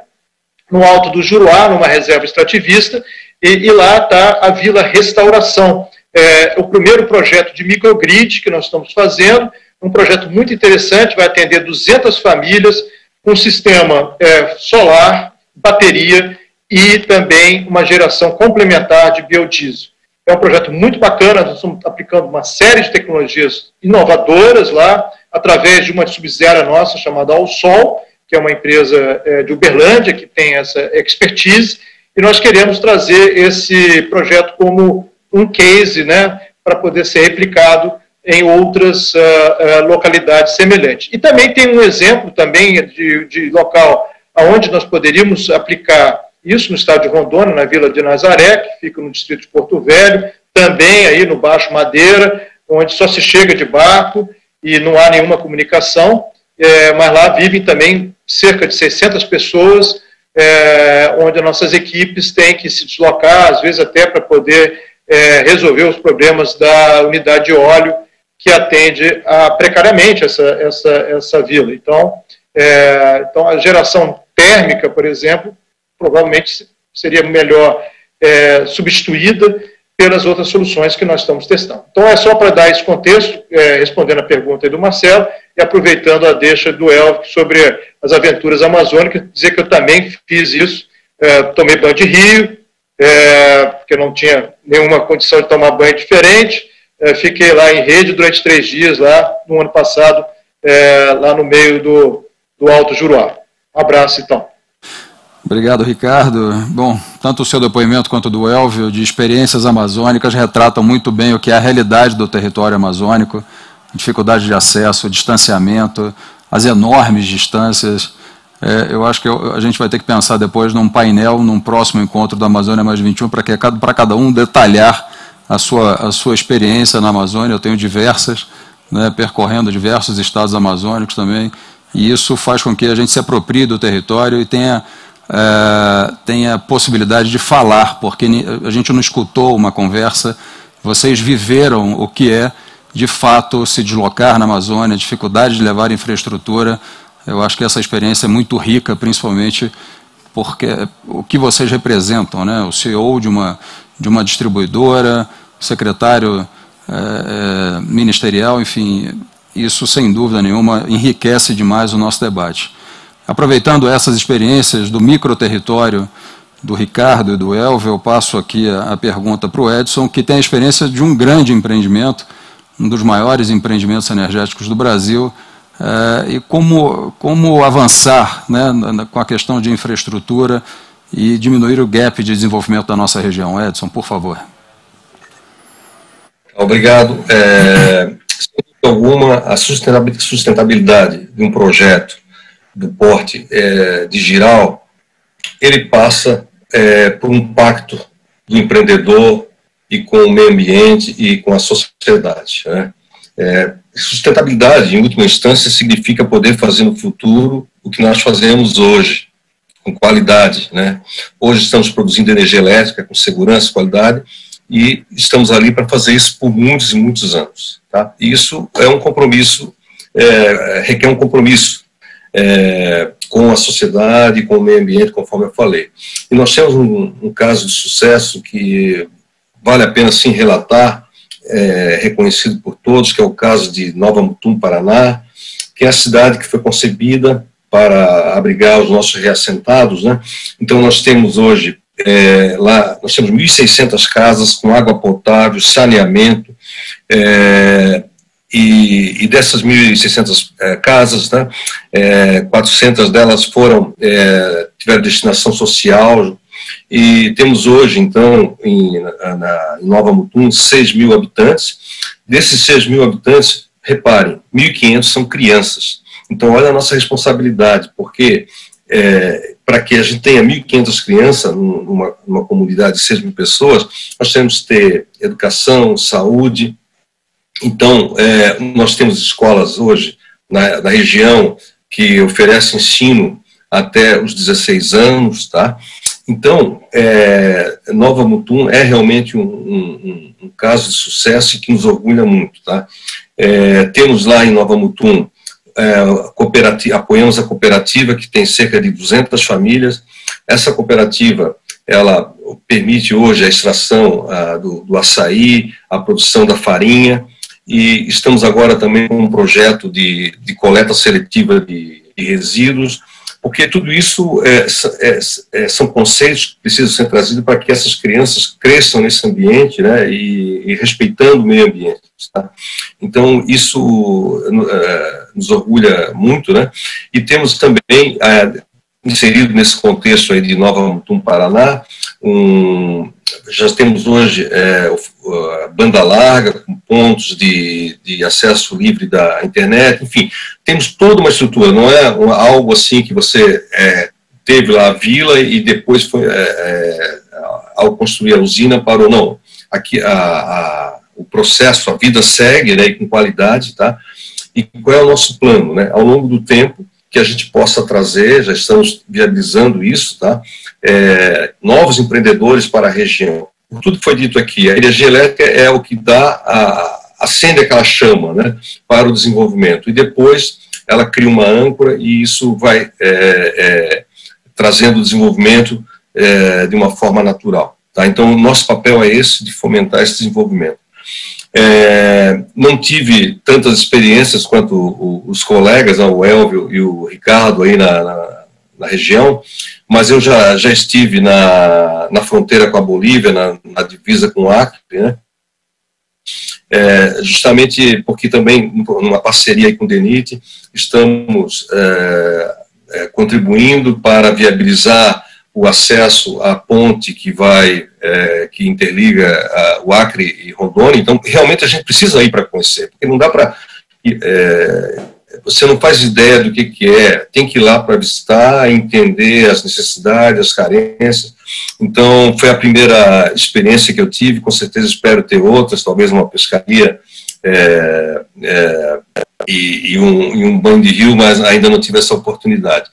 É, mas também, é, ainda falando um pouco mais sobre é, potencial de desenvolvimento, né, é, existe é um sonho antigo da região, para quem não sabe, né, existe a possibilidade de uma integração maior ainda com a Bolívia, que é, é existe a possibilidade de construção de duas usinas hidrelétricas na fronteira com a Bolívia, da, com a Bolívia né, em território boliviano, né, essa, essa, essa possibilidade ela, ela permite a, a regularização, a, a, navegação hidroviária em cerca de 4.200 quilômetros, é possível. É um projeto ambicioso, sim, mas que, é, considerando né, a, cada vez mais a necessidade de fontes que sejam é, controláveis, fontes controláveis de energia, há sim ainda um potencial relevante a ser explorado nessa fronteira com a, com a Bolívia, que poderá trazer o desenvolvimento econômico, geração de renda, permitir que a, a, a Bolívia acesse o, o Oceano Atlântico. É um projeto que está sendo estudado pela pela Eletrobras. Em breve, é, é, é, claro que o Ministério também é, é participe, é o, é o elemento fundamental, porque é uma negociação que envolve dois países, passa necessariamente pelo Ministério. Então, é o, o estudo de inventário está sendo feito e é, é, que passa esse, nesse estudo de inventário que eu me referi, em que está prevista a construção dessas duas usinas, uma etapa uh, intermediária que, é, que também pode ser, ser utilizada é simplesmente é, operar a usina de Giral naquilo que a gente chama de cota constante, porque hoje a usina ela aproveita o fluxo natural da água de tal modo que é, no período seco o, a cota de operação da usina baixa. Então, existe condição técnica de simplesmente aumentar a cota de operação dessa usina, operando o ano todo na cota 90 metros, tá? sem que a água fuja da, da calha atual do rio, ou seja, a gente estaria usando a calha do rio da mesma forma como ela é usada durante o, o inverno amazônico, ou seja, no período seco, você conseguiria também regularizar o fluxo de água, né? É claro que isso sempre traz algum é, impacto na região, mas que na nossa avaliação preliminar esse impacto não é, é expressivo e que ó, e, e, em se aprofundando é, na análise, obviamente, nós vamos saber é, que tipo de compensação ambiental é, é necessária para poder é, permitir essa operação que, naquilo que a gente chama de cota constante. Essa operação em cota constante traria cerca de, uh, cerca de 240 megawatts médios a mais de energia. Tá? É, isso, por si só, já representa uma, uma, uma grande usina Tá? É muita energia que pode ser explorada e gerando mais royalties e desenvolvimento para a região. Também falando, saindo um pouquinho só da geração de energia elétrica, conforme eu falei, um dos nossos controladores é a ENGIE.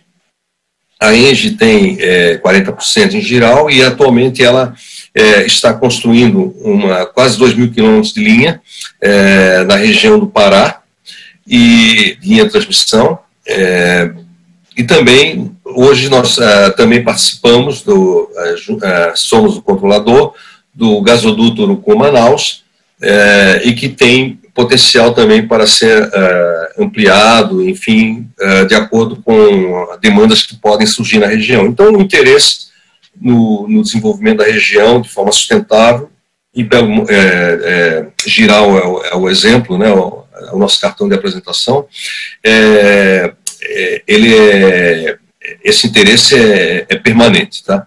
Então estamos à disposição para seguir na região e, e, e, investindo mais ainda, tá? Muito obrigado. Obrigado, Edson. Marcelo, os que te antecederam trazem visões diferentes, realidades diferentes, né? Do microterritório, de uma geração é, isolada para 200 pessoas e um grande empreendimento uh, com as diversas possibilidades de geração que a Amazônia oferece. Como avançar na efetivação dessa infraestrutura, apoiando o desenvolvimento sustentável da região? Maravilha, Marcelo. Só fazer dois comentários rápidos em relação às falas anteriores. Primeiro, em relação às experiências, né? Eu já tive na região algumas vezes, sou um apaixonado pela região amazônica, é um tesouro realmente que nós temos no nosso país. Meu único medo lá, viu, Marcelo e demais, é me apaixonar por uma ribeirinha e ter que visitá-la mensalmente, fazer essa viagem aí que o Botelho e o, Elvio eh, já fizeram, né, uma vez por mês. Imagina a loucura que seria, né? Então não tenho medo de sucuri nem de onça na região amazônica, não, mas da ribeirinha eu tenho, viu? E com relação ao, ao, ao, ao que o Edson e o Botelho falaram também, a importância que uma empresa de energia tem para a sociedade, né? Seja local, numa coisa mais micro, seja nacionalmente. O setor elétrico explora muito mal isso, a gente se comunica muito mal, é uma, é uma meia-culpa nossa, mas você vê a interação que a gente tem com a sociedade, o que uma geradora ou uma distribuidora de energia fazem pela sociedade brasileira, não só nas pessoas físicas, mas nas pessoas jurídicas também. Importante a gente ressaltar isso. Eu tinha um, presidente antigo meu aqui, Marcelo Buchará, que falava é, que só, se, é, só a atividade econômica será capaz de conservar a região amazônica ou qualquer outro bioma brasileiro. Né? É, não tem como a gente, aquela questão entre preservação e conservação, a preservação é manter a floresta em pé. É, aí tem a, a, a, é, economia verde, que foi muito falada durante anos e acabou que não andou muito. Agora uma nova expressão sendo trazida, a, bioeconomia, né, para tentar também extrair alguma coisa dessa floresta em pé, que é, é muito importante, não vamos menosprezar isso nunca, mas é, o que a gente acha é que há a possibilidade de expandir a, a empreendimentos grandes na região amazônica com extrema responsabilidade. A gente fala de desenvolvimento sustentável, eu costumo usar desenvolvimento responsável, né, pensando no que, que aquilo pode é, trazer de bom para a região, mantendo a floresta em pé, ou seja, tudo, todos os recursos advindos dessas atividades econômicas nessas áreas tão carentes, é, parte desses recursos ficam, né, é, fica nessa, nessa área e, obviamente, vai ser utilizada ali para manter a floresta em pé, onde ela é, estiver ainda preservada, e também para auxiliar nas atividades com as comunidades envolvidas em torno daqueles desses empreendimentos todos. Né? Eu lembro, na, na é, vou dar um exemplo bem rapidinho, Carajás, por exemplo, né? Carajás, para quem conhece, eu já tive em Carajás algumas vezes, e quem vê a foto acha aquilo ali uma coisa devastadora. Quem vai pessoalmente vê que não é tão grande quanto imagina, porque a Amazônia é espetacularmente enorme, né? Então, Carajás acaba sendo um pontinho no mapa, quando você vê de satélite, é um microponto no mapa. É, e, e, se você pega a unidade de conservação, que é cuidada pela Vale, que é dona da, da, do empreendimento, e a unidade de conservação, que era cuidada pelo Estado, uma está devastada e a da Vale está totalmente conservada. Né? Ou seja, vale a pena, não vale a pena, é, há uma discussão sobre isso, deixar a, a, a, as unidades de conservação por conta dos próprios empreendimentos que vão fazer a exploração da atividade econômica nessas regiões, será que isso não vai dar mais resultado do que o modelo atual, que já se mostrou falido? Né? Então, em relação à floresta, eu teria esses comentários para fazer. E com relação ao social, Marcelo, e demais colegas aqui do painel e, então, e aqueles que estão nos assistindo também. Vou dar um exemplo para fugir um pouco aí de Rondônia, Santo Antônio, Giral. Vou dar um exemplo de Belo Monte. Né? Eu tenho um estoque de matérias e de manchetes demonizando Belo Monte. Né? Tem algumas que falavam que Belo Monte alagaria a região amazônica, né? assim, na tentativa de desconstruir aquele empreendimento. É, Belo Monte gerou, só em impostos, 700 milhões de reais até hoje, pouco mais de cinco anos, seis anos, é, para o Estado e para os municípios envolvidos. Atualmente, os municípios de Altamira e Vitória do Xingu, que são aqueles que recebem a maior parte da, da, da compensação financeira pelo uso do recurso hídrico, a famosa CEFU, é, eles recebem aproximadamente 25 milhões de reais por ano.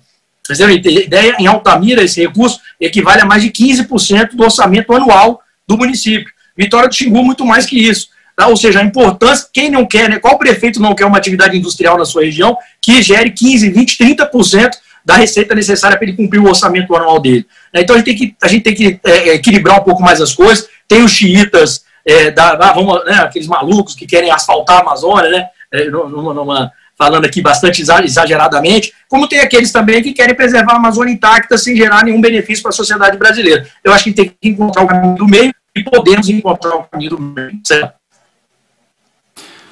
Excelente, Marcelo. É, Acho que a conexão. Bom, Marcelo voltou. Não, voltei. É, mas, sem dúvida, é, é, se não através do desenvolvimento, né, é, do desenvolvimento econômico, de uma operação estruturada no território, é, a agenda de preservação e conservação não, não avançará. Então, não há dicotomia entre desenvolvimento e conservação, pelo contrário. A gente tem diversos exemplos espalhados por toda a Amazônia de que as áreas mais conservadas são as que têm algum tipo de destinação econômica, que tem algum responsável por aquele território que garante eh, a integridade do bioma, que, que, garante a integridade do território. Então, eh, concordo com você, o primeiro desafio é de imagem e de comunicação. Desfazer essa, dar um zoom na Amazônia para você, como você bem disse, um, um, recorte de uma foto de uma, de uma operação na Amazônia pode levar, pode induzir de que há uma degradação enorme. Se a gente ampliar um pouco esse zoom, vai ver que o impacto daquele empreendimento é muito pequeno e a, a contrapartida de preservação ou de conservação é muito maior do que o impacto gerado. O Marcelo, nós, temos um exemplo, só, só rapidinho, o, o, o Elvio, desculpe, citou, ele citou o exemplo da APP, de, de, de APP dos, dos, dos, reservatórios do setor elétrico, área de preservação permanente. Né? Nós temos uma foto de Itaipu, também tenho na minha apresentação, infelizmente eu não trouxe ela hoje, mas posso mandar depois para vocês, que mostra exatamente isso. Há, há, apenas um cinturão verde em torno do reservatório garantido pela usina de Itaipu, o resto é, é região agrícola. Né? Então, se não houvesse a usina de Itaipu, não haveria esse cinturão verde que garante a vida do reservatório. E o caso emblemático de Santa Isabel, que se tivessem feito a usina de Santa Isabel no ano de 2001, 2002, quando ela foi licitada, é, hoje a área seria extremamente mais bem conservada do que nos dias atuais. Só para deixar esse registro aí. Perfeito, Marcelo. É, eu passo a pergunta agora ao Fernando e gostaria de ressaltar um ponto que faz parte da pergunta, que é a transposição de obstáculos para avançar com a infraestrutura. E é óbvio que isso nos induz a tratar de dois temas que são muito caros a qualquer empreendedor brasileiro, que é licenciamento ambiental e segurança jurídica. Acho que você pode dar uma enorme contribuição na visão jurídica desses dois temas que é, refreiam o avanço da infraestrutura brasileira. Por favor, Fernando. Olha, Marcelo, eu, eu acho que é, o problema da segurança jurídica é um problema aí transversal né, que a gente tem no Brasil, qualquer projeto de infraestrutura que demanda investimento no longo prazo, né, para a gente conseguir atrair investidor com um programa de longo prazo de investimento, nós precisamos oferecer segurança jurídica, estabilidade jurídica, segurança regulatória, né, quer dizer, políticas regulatórias de longo prazo. Infelizmente, no Brasil, a gente tem é, visto é, que não temos conseguido, pelo menos nos últimos, nos últimos anos, né, é, ter políticas regulatórias de longo prazo para serviços, para setores essenciais, por exemplo, como energia. Né? A gente tem uma boa regulação no setor de energia, a ANEL é uma agência muito respeitada, mas nós tivemos aí, no curto prazo, se a gente olhar pelo retrovisor, mudanças regulatórias né, que foram muito mal recebidas pelo mercado, que geraram muita instabilidade e insegurança jurídica. Tivemos em outros setores, portos da mesma forma, mudamos muito o modelo no curto prazo. Essa é uma sinalização ruim para o investidor, né, para a gente conseguir atrair investidores, é, inclusive investidores internacionais, né, que a gente está desenvolvendo aí uma série de programas de desestatização, concessões e PPPs, é, alguns bem-sucedidos, como o programa de desestatização, por exemplo, de aeroportos, né? e temos rodovias, portos, temos agora saneamento. É, Para isso, a gente precisa oferecer é, uma perspectiva de estabilidade e segurança jurídica e regulatória para os investidores. Eu acho que esse é um tema crítico no Brasil, é, não só por, por conta dessas oscilações na regulação, né, a que eu me referi, mas porque nós não temos também no Brasil. Primeiro, nós temos muita intervenção dos órgãos de controle, né? acho que isso é, é, é, um, é um, consenso aí é, no mercado, o controle, que é importante para inibir desvios, a gente teve muita, é, muita revelação de corrupção nos últimos meses e anos. Claro que o controle é importante, mas o controle se transformou num fator de risco para o investidor, porque é, muitas vezes, depois que o projeto está montado, está estruturado, já está em execução, nós temos intervenção do controlador. Né? Acho que a gente precisaria coordenar melhor isso, trazer o controle para a fase de gestação do projeto, para mitigar o risco dessas interferências futuras no projeto, que acaba incrementando o custo de transação, acaba trazendo insegurança jurídica e, e, e acaba prejudicando a atração de investimentos para projetos importantes. É, e, e, eu acho também que a segurança jurídica ela tem um outro ângulo aí, que é um, a ineficácia do, do, do, do, sistema judicial. Né? Nós não temos enforcement de contratos no Brasil. Se uma administração pública descumpre um contrato que tem com um concessionário, por exemplo, é, é, muito, é muito difícil você é, obter decisões né, no curto prazo que sejam é, eficazes ali para para a realização do direito do concessionário, eventualmente um direito de crédito, né? Então, os processos judiciais demoram muitos anos. Eu acho que esse é um problema, a gente precisaria endereçar melhor esse problema no Brasil. Infelizmente, esse é um problema é muito difícil de resolver no curto prazo. Relaciona-se com o problema de ineficácia do sistema judicial, né? É, então, assim, eu acho que o tema, o tema da, da segurança jurídica me parece que é é fundamental. É, a gente e, e, aí, claro, que os contratos né, acabam tendo de fazer, às vezes, aí, de acautelar o risco dos investidores é, quanto a essa insegurança jurídica. Então, se a gente vê é, o que é muito comum, né, quando tem contraprestações públicas, ali subsídios integrados nesses contratos, sempre tem uma garantia pública que é oferecida pela administração pública, pelo poder concedente, exatamente para cautelar o risco do investidor. É, e aí nós caímos no outro problema, que é, é a ausência de ativos né, para constituir esses sistemas de garantia. Esse é outro gargalo para o desenvolvimento de projetos de infraestrutura. É, então, é, é, é, um pouco até é, constrangedor né, que a administração pública tenha que oferecer garantia. A administração pública que goza de presunção de solvência, né, que em outros países a gente não, em alguns pelo menos a gente não, não, não enxerga essa necessidade de se constituir garantia para cautelar um risco do não pagamento de uma contraprestação pública, né, que é uma obrigação do poder público. Mas no Brasil, em função de um histórico que nós temos, aí, um déficit de credibilidade em relação às administrações públicas, como entes cumpridora de contratos, né, nós temos aí a necessidade, em muitos projetos importantes, de ter garantia pública. Eu diria assim que é, é muito difícil, muito raro a gente encontrar um projeto né, que é, demande ali contraprestação pública, né, em, em, é, volumes expressivos, que não conte com uma estrutura de garantia pública para cautelar o risco do investidor. Até porque senão o banco não financia, né? essa garantia no final funciona para viabilizar o próprio financiamento. É, então, eu acho que esse, esse, é um gargalo que nós temos, né? a falta de, de garantias, de ativos suficientes para compor garantias públicas para viabilizar projetos. Quando a gente pensa em projetos é, na região amazônica, né, que é uma região como a gente comentou aqui, carente de serviços essenciais e muitas vezes é, nós não temos escala né, para colocar de pé projetos ali é, em que a receita está muito vinculada ali à fruição da infraestrutura, à utilização da infraestrutura, muitas vezes a gente não, aquilo ali não dá escala, porque nós não temos um número de, de usuários que justifique ali a, a, a implantação daquela infraestrutura, a construção daquela infraestrutura e a sua operação. Então nós precisamos de subsídio né? Esses projetos eles são deficitários, teoricamente deficitários. Nós precisamos de subsídios públicos para viabilizar os projetos. Foi comentado aqui, né, no setor de, de energia, ah, o subsídio através de fundos, etc. Muitas vezes a gente tem subsídios integrados diretamente no projeto.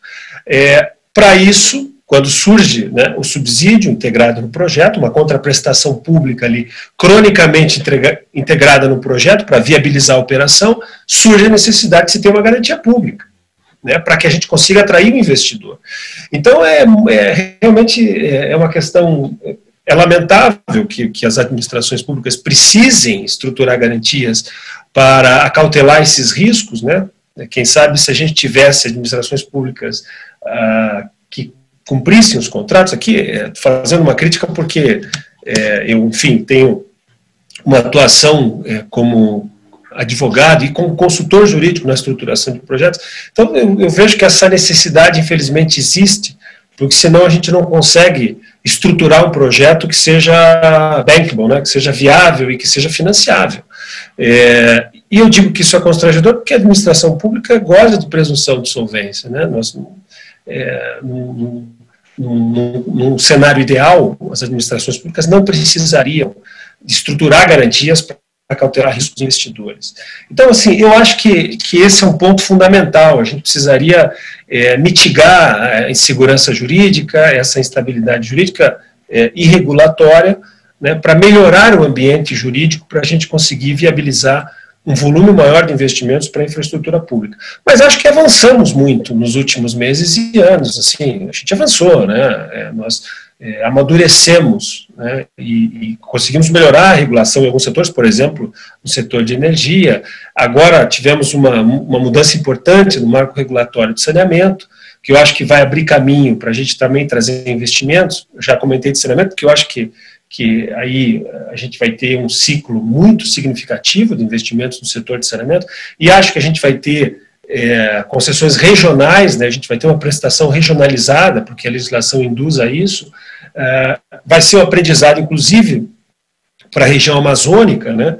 É, você falava antes no, no, desafio da governança interfederativa, né, que é um fator importante para é, viabilizar aí a, é, projetos regionais né, pela, pela região amazônica. Nós temos inclusive o consórcio interestadual da, da Amazônia Legal, que eu acho que vem fazendo um papel importante, é, mas certamente há muita dificuldade. Toda vez que você tem essa concertação né, entre entes federados, logicamente que há muita dificuldade nessa articulação. Né? A governança interfederativa é um desafio. É, nós temos poucas experiências no Brasil com governança interfederativa. Mas eu acho que a gente vai ter agora uma experiência muito importante no setor de saneamento. É, eu estou envolvido, por exemplo, com o projeto de desestatização do Estado do Rio de Janeiro, todo o saneamento ali da região metropolitana e de, e de é, outros tantos municípios ali do Estado do Rio de Janeiro. É, e, e, e ali um desafio foi fazer essa, essa costura institucional para colocar o Estado como estruturador ali das, das grandes concessões para o saneamento.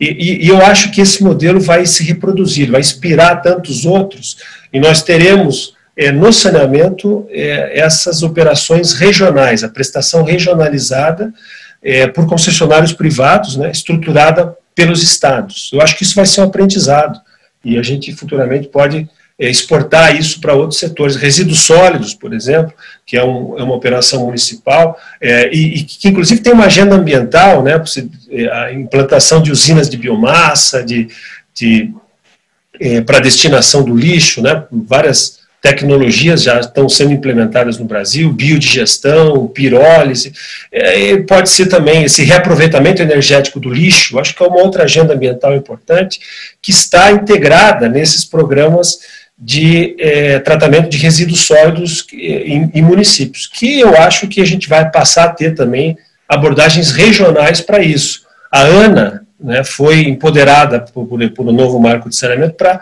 prover a regulação é, de saneamento, inclusive para a destinação de resíduos sólidos. A gente vai ver aí nos próximos, nos próximos dois anos, né, já tem uma agenda regulatória sobre consulta pública, uh, as, as principais normas de referência da ANA com relação a esse serviço. Então, assim, eu acho, para resumir, né, que a gente tem é, todos esses desafios pela frente, é, é, muitos deles relacionados a um problema que é um problema de insegurança jurídica é, e de instabilidade regulatória. Né? E, e também o tema do, só para finalizar, o tema do, do licenciamento ambiental, né, um tema fundamental, a gente estava comentando aqui, eu acho que muitas vezes o, o órgão ali com capacidade liberatória, ele tem uma visão muito restrita ao problema ambiental e não, não está enxergando né, o, o value for money do programa do ponto de vista global, ele não tem uma visão panorâmica sobre todas as externalidades positivas que aquele projeto, que a implantação daquele projeto pode gerar, né? É toda, tudo, a gente chama de value for money, essa análise né, da valorização dos recursos públicos ali implantados é, é, interessados à, implantação, implantação daquele projeto, é, com todas as vantagens socioeconômicas que o projeto pode gerar. Né? Então, eu acho que ah, nós precisaríamos de toda, todos os órgãos que têm capacidade liberatória do empreendimento, acabam fazendo uma visão muito fechada ali no seu, no seu ângulo de análise. Eu acho que a gente precisaria tornar isso um pouco mais abrangente. Teve uma, uma, uma solução que foi cogitada num projeto de lei, né, ainda ao tempo do, do ministro Joaquim Levy, quando era ministro da Economia, ele constituiu uma comissão que desenvolveu o um projeto de lei, que era, era o projeto PPP+, né, que criava ali um, um novo sistema de contratações, e, e, e, uma das ideias que era muito interessante era esse consórcio de autoridades com capacidade liberatória, para conseguir agilizar e simplificar a liberação de grandes empreendimentos. Né? Colocar ali os principais é, é, órgãos, né, autoridades na mesa, para que possa ter uma solução concertada né, com relação à liberação do empreendimento é, e para que possa haver mesmo essa visão um pouco mais plural aí, né, é, um pouco mais abrangente sobre as, as, todas as vantagens e desvantagens relativamente à implantação daquele empreendimento. Obrigado, Fernando. É, Márcio, falamos de, de hidrelétrica, de biocombustível, até de saneamento, que é um tema que, enfim, está tá pulando, está né, tá, tá, tá quente e que traz enormes, enormes oportunidades para o setor privado e para a população, obviamente. Energia fotovoltaica. Por favor, Márcio, energia fotovoltaica na Amazônia. Bem, é, essa é uma tecnologia, sem dúvida, aí, que tem a oportunidade de gerar um benefício muito grande né, para as comunidades é, é e para toda a região amazônica. Né. vou até pedir para compartilhar o slide 5, por favor, se a área técnica puder compartilhar, agradeço. Né, é, sobretudo nas regiões isoladas. Né, e a gente sabe aí da relevância que tem as comunidades é, nessa gigantesca área, né, e a gente está falando aí de centenas de milhares de famílias né, e comunidades que poderiam ter uma condição de desenvolvimento, né, uma condição de inserção, trazendo aí benefícios sociais, eh, econômicos, né, como já bem mencionados aqui pelo Dr. Evo eh, e também pelo, pelo Ricardo, a importância e a relevância aí de criar aí uma condição de eletrificação eh, para essa comunidade, né, e sem dúvida é, as fontes renováveis aí têm aí é, uma oportunidade fantástica de promover esse benefício para essa é, é, grande é, parcela da população né, que não tem hoje ou tem condições precárias de acesso à energia elétrica. Vou pedir aqui para passar para o próximo slide, por favor. Né, e aí eu gostaria de, de reforçar e complementar é, a importância desse programa, né, o Mais Luz para a Amazônia, já mencionados aqui, aproveito e, e, parabenizo aí o Ministério e os agentes envolvidos é, é, na elaboração e na coordenação desse programa, né, não só o Ministério, mas também a ANEEL, a Eletrobras, é, a CCE e distribuidoras como a própria Energisa, né, que tem aí um papel fundamental e uma meta bastante é, importante, né, que é gerar e levar energia elétrica para mais de 72 mil é, famílias é, que hoje ou não têm acesso ou têm condições precárias de acesso à energia elétrica né, um insumo tão importante para o desenvolvimento, que tem reflexos, né, eu falei do social, eu falei do desenvolvimento econômico, mas também, isso também está muito relacionado também à questão da preservação ambiental também, à medida que você cria condições mais adequadas, né, é, é, de, de vida para essas pessoas.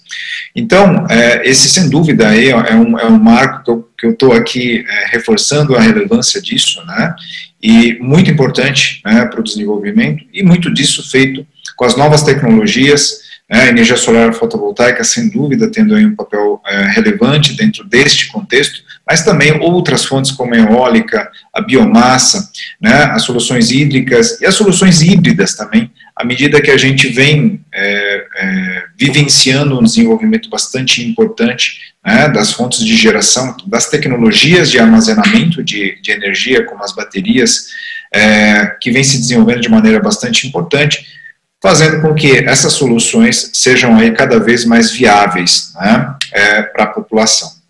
E aí dois fatores bastante importantes, né, promover a, a cadeia nesse sentido, né, também o planejamento né, e também políticas é, como o decreto, né, o decreto NME 10221, é, tendo aí, sem dúvida, aí um papel bastante relevante para permitir a ampliação do acesso à energia elétrica para as pessoas que hoje têm aí o acesso é, dificultado.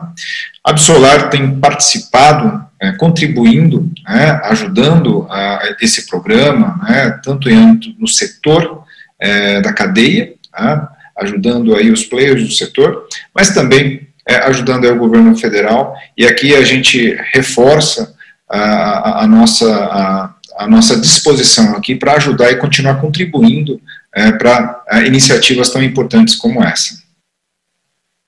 Muito obrigado, Márcio. É, a gente tem menos de 20 minutos para terminar o nosso painel e eu gostaria de ouvi-los para suas considerações finais.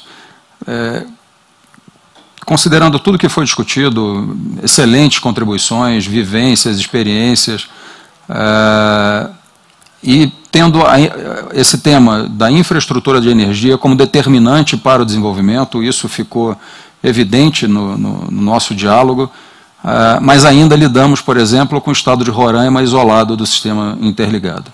Né?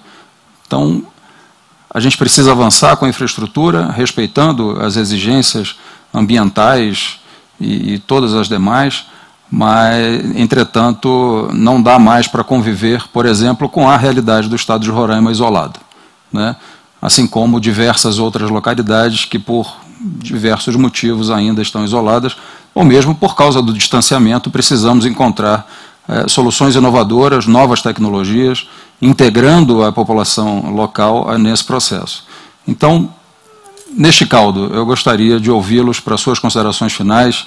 Eu vou realmente pedir para que o tempo seja curto de resposta. Nosso pessoal já está aqui com um painelzinho aqui pulando para. Tem que acabar. É uma pena, porque o diálogo aqui foi, foi excepcional. Então, Elvio, por favor, suas considerações finais.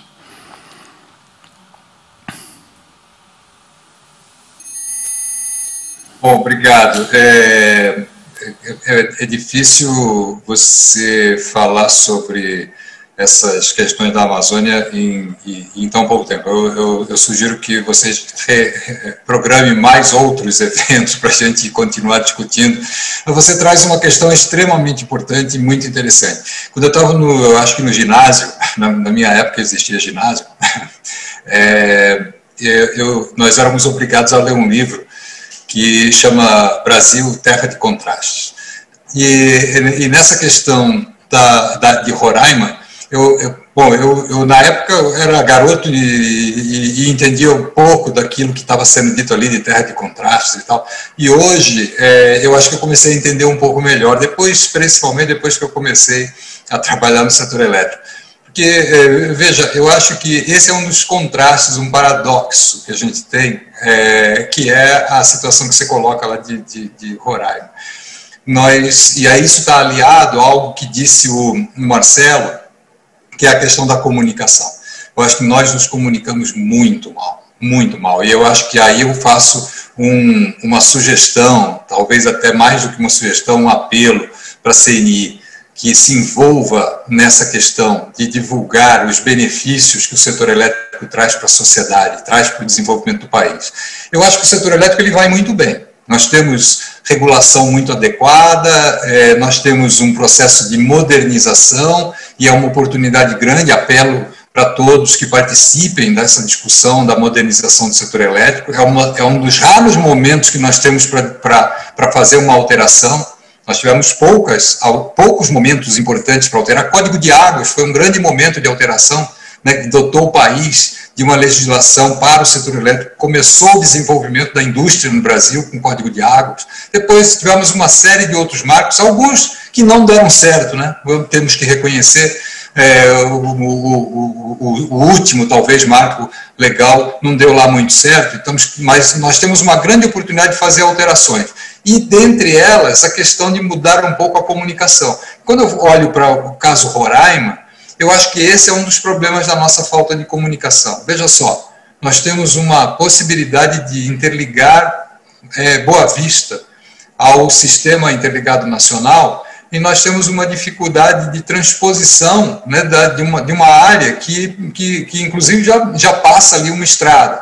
E, e olha, o que, e isso muitas vezes em nome de uma, de uma vamos chamar de preservação né, ambiental, e eu gostei do que disse o, Marcelo, né, quando fala que a gente tem que mudar um pouco isso, né, que a, gente não, a questão é sustentabilidade, quer dizer, usar de forma sustentável, né, aproveitar os benefícios que podem ser podem decorrer desse aproveitamento para a sociedade, para o desenvolvimento do país. E nós não fazemos isso em nome de uma de uma é, é, é, é uma sustentabilidade que, que eu quero de novo colocar aspas e geramos com óleo na região é, amazônica. Quer dizer, é, é, um desses paradoxos, é um, dessas, é um desses contrastes que a gente vive, né, que, que, que nós temos que superar. É, eu acho que nós precisamos fazer isso e eu quero, aqui para também não, não me estender, como foi proposto é, pelo Marcelo, eu, não, eu, eu, eu, eu acho que é, nós, eu não tenho dúvida que nós temos um setor que funciona bem, que com todos os com todas as dificuldades que a gente tem que estamos trabalhando para vencer mas ele funciona bem que tem regulação tem contratos de longo prazo né? nós temos é, é, é garantia de recebíveis. Então eu acho que tudo isso faz com que o setor funcione bem.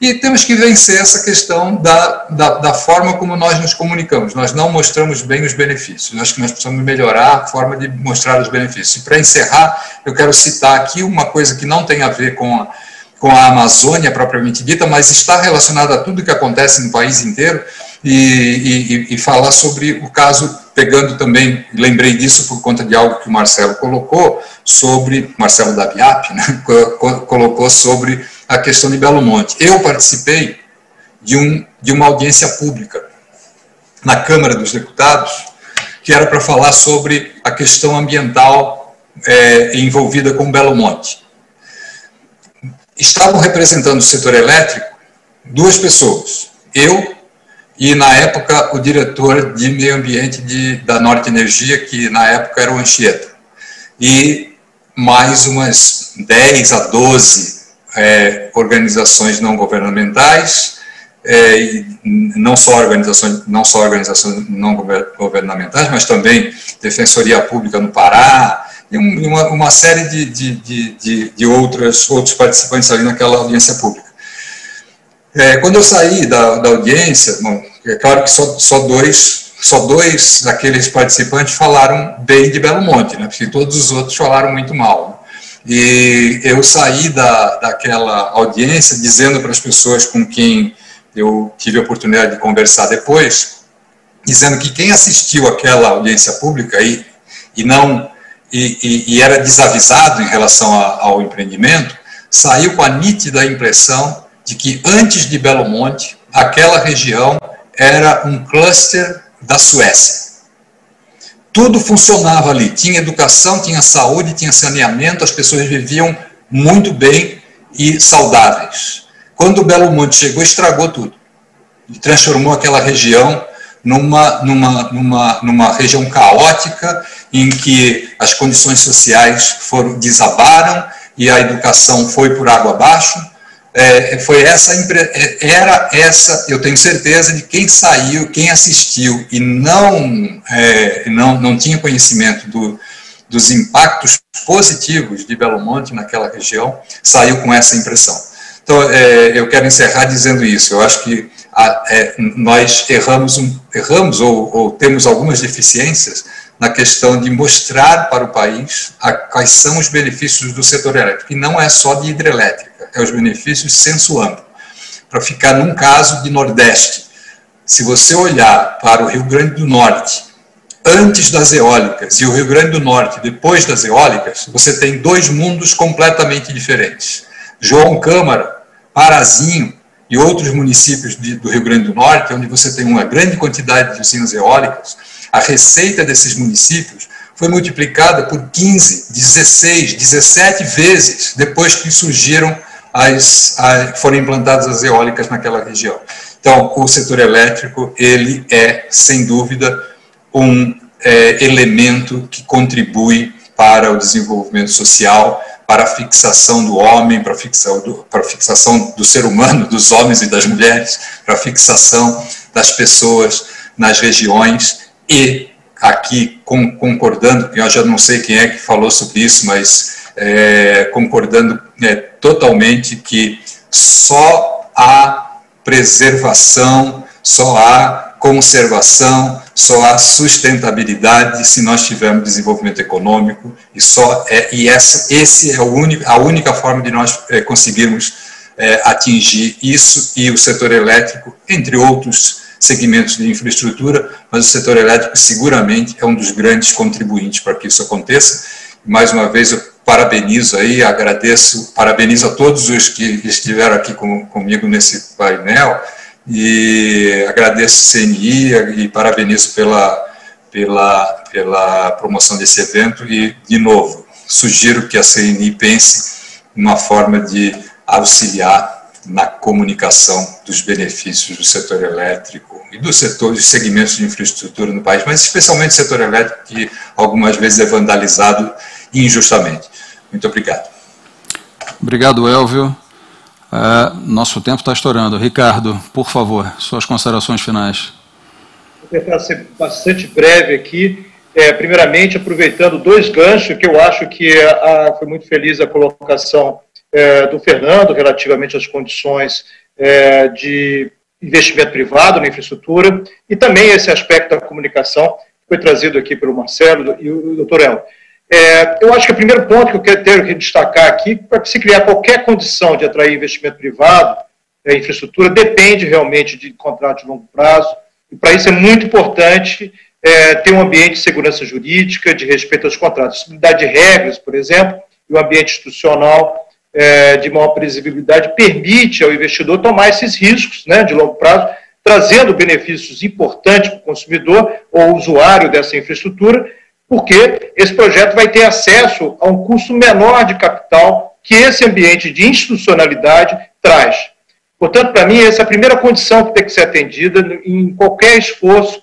Esse esforço tem que ser feito com a, o apoio e a liderança, de fato, dos governos, das agências, em promover esse ambiente condizente. Uma vez implantada a infraestrutura, né, podemos viabilizar também uma série de desenvolvimentos que foi dito que é a melhor maneira também de nós preservarmos é, é, isso, tirando as pessoas da pobreza. O segundo ponto que não pode é, também não haver conflito de agenda é, entre atividade de infraestrutura e atividade de preservação ambiental. É, cada vez mais é, os investimentos para serem financiados precisam atender os critérios e as práticas do, daquelas três letrinhas, né? ASG, Ambiente Social e Governança, Isso vai muito além é, dos licenciamentos ambientais, que nós sabemos que são muito rigorosos, às vezes com exigências é, impraticáveis, é, mas também pela necessidade das posturas empresariais que procuram atender a esses múltiplos né, stakeholders em suas atividades. O Brasil tem uma enorme vantagem por ter uma matriz energética das mais limpas do planeta, uma vantagem competitiva que coloca o país, eh, portanto, numa posição de vantagem no critério do ASG. Né? É, atendido esse primeiro critério, né, o Brasil pode se candidatar, né, segurança jurídica e, e estabilidade de regras, e com essas três letrinhas, que o Brasil pode ser campeão, o Brasil pode se candidatar a receber, então, investimento de outros países, porque é o país que mais oferece, proporcionalmente, energia de fontes renováveis. E, por último, eu diria que nós podemos também ser indutores de novos modelos para se monetizar os serviços ambientais proporcionados né, para a preservação ambiental e a bioeconomia da Amazônia. É, como exemplo, eu vou dar só um exemplo aqui rápido, os, o uso que a gente tem, o, o que nós fazemos, é, é, nós temos alguns dados que foram dados pela Embrapa, até que eu vou, vou, citar rapidamente, né? O Brasil, há 8 mil anos atrás, possuía 10% da floresta mundial. Hoje, o país detém 28,3% das florestas é, em pé. É, dos 64 milhões de quilômetros quadrados é, de florestas existentes, é, antes é, da expansão demográfica e tecnológica né, dos seres humanos, esse tempo, restam só 15,5 milhões, cerca de 24%.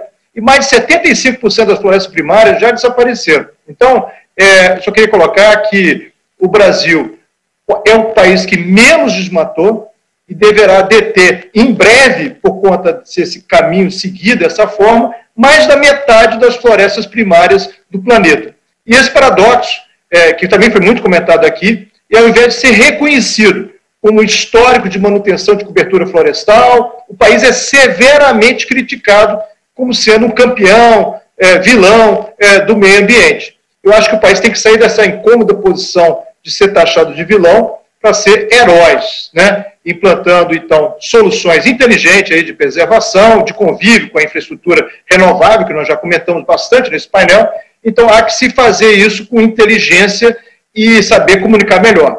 É, a Energisa, uma das principais distribuidoras de, da região amazônica, é, ela busca conciliar esse desenvolvimento econômico é, com a manutenção da floresta e culturas amazônicas e a disponibilidade de, de, de, eletricidade acessível e confiável é um dos pilares do, dos Objetivos de Desenvolvimento Sustentável, ou ODS, da ONU.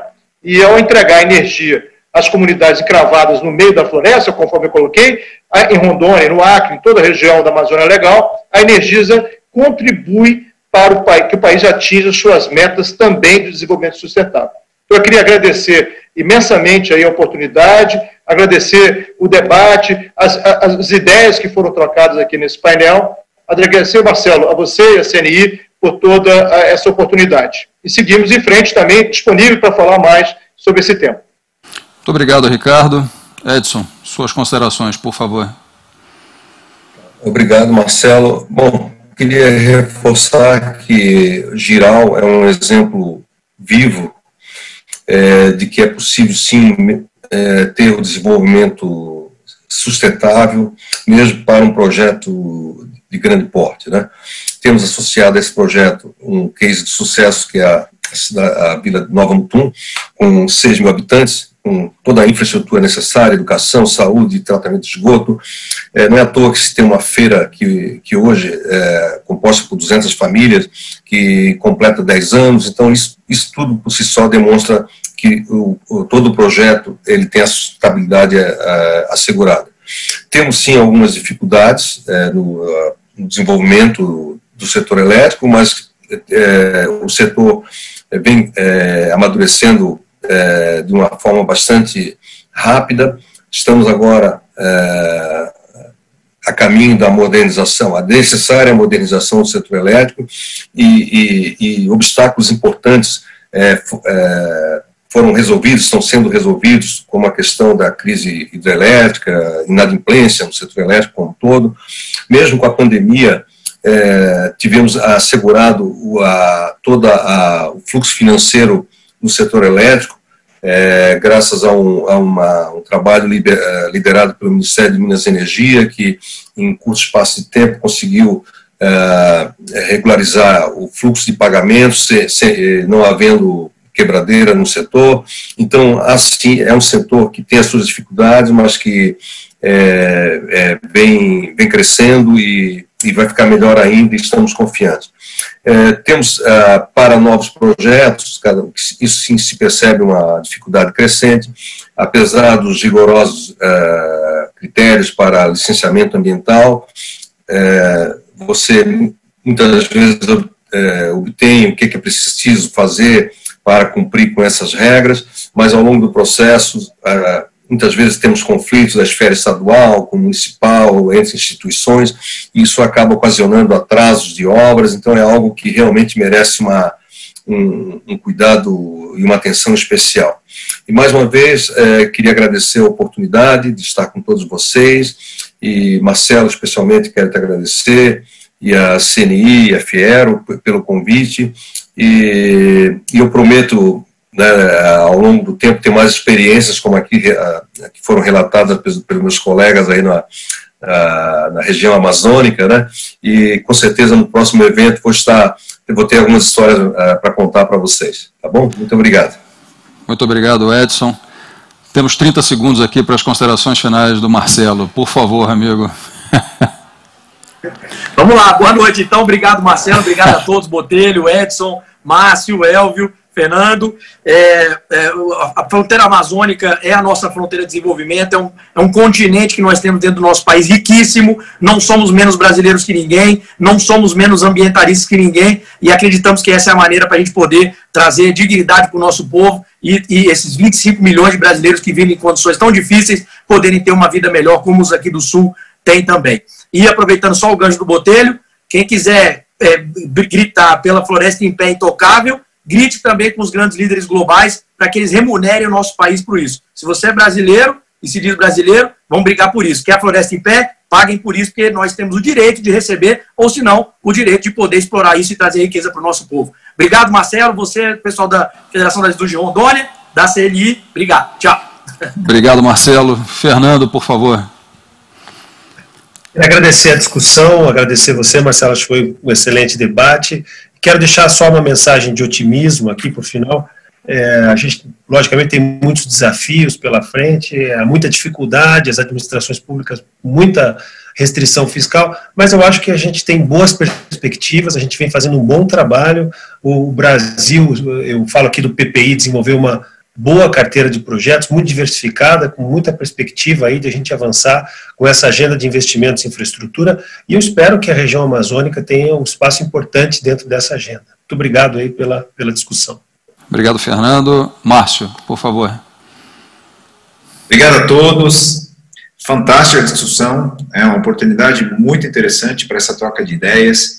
É, então agradeço e parabenizo aí a organização é, incentivando aí que outros eventos como esse aconteçam, né? E, sobretudo, nesse momento né, de retomada, é, pós-pandemia, uma agenda verde é, mundial, é, e aqui no Brasil não vai ser diferente, né? A gente tem, sem dúvida, aí bastante oportunidades e desafios, e vamos lá, né? Acho que muita coisa é boa a ser feita aí, e muito obrigado pela oportunidade.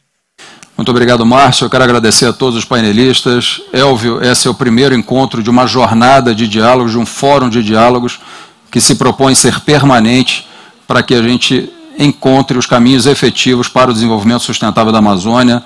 É, muito grato a todos é, pela participação. Finalizamos nossa jornada neste dia 23 de setembro.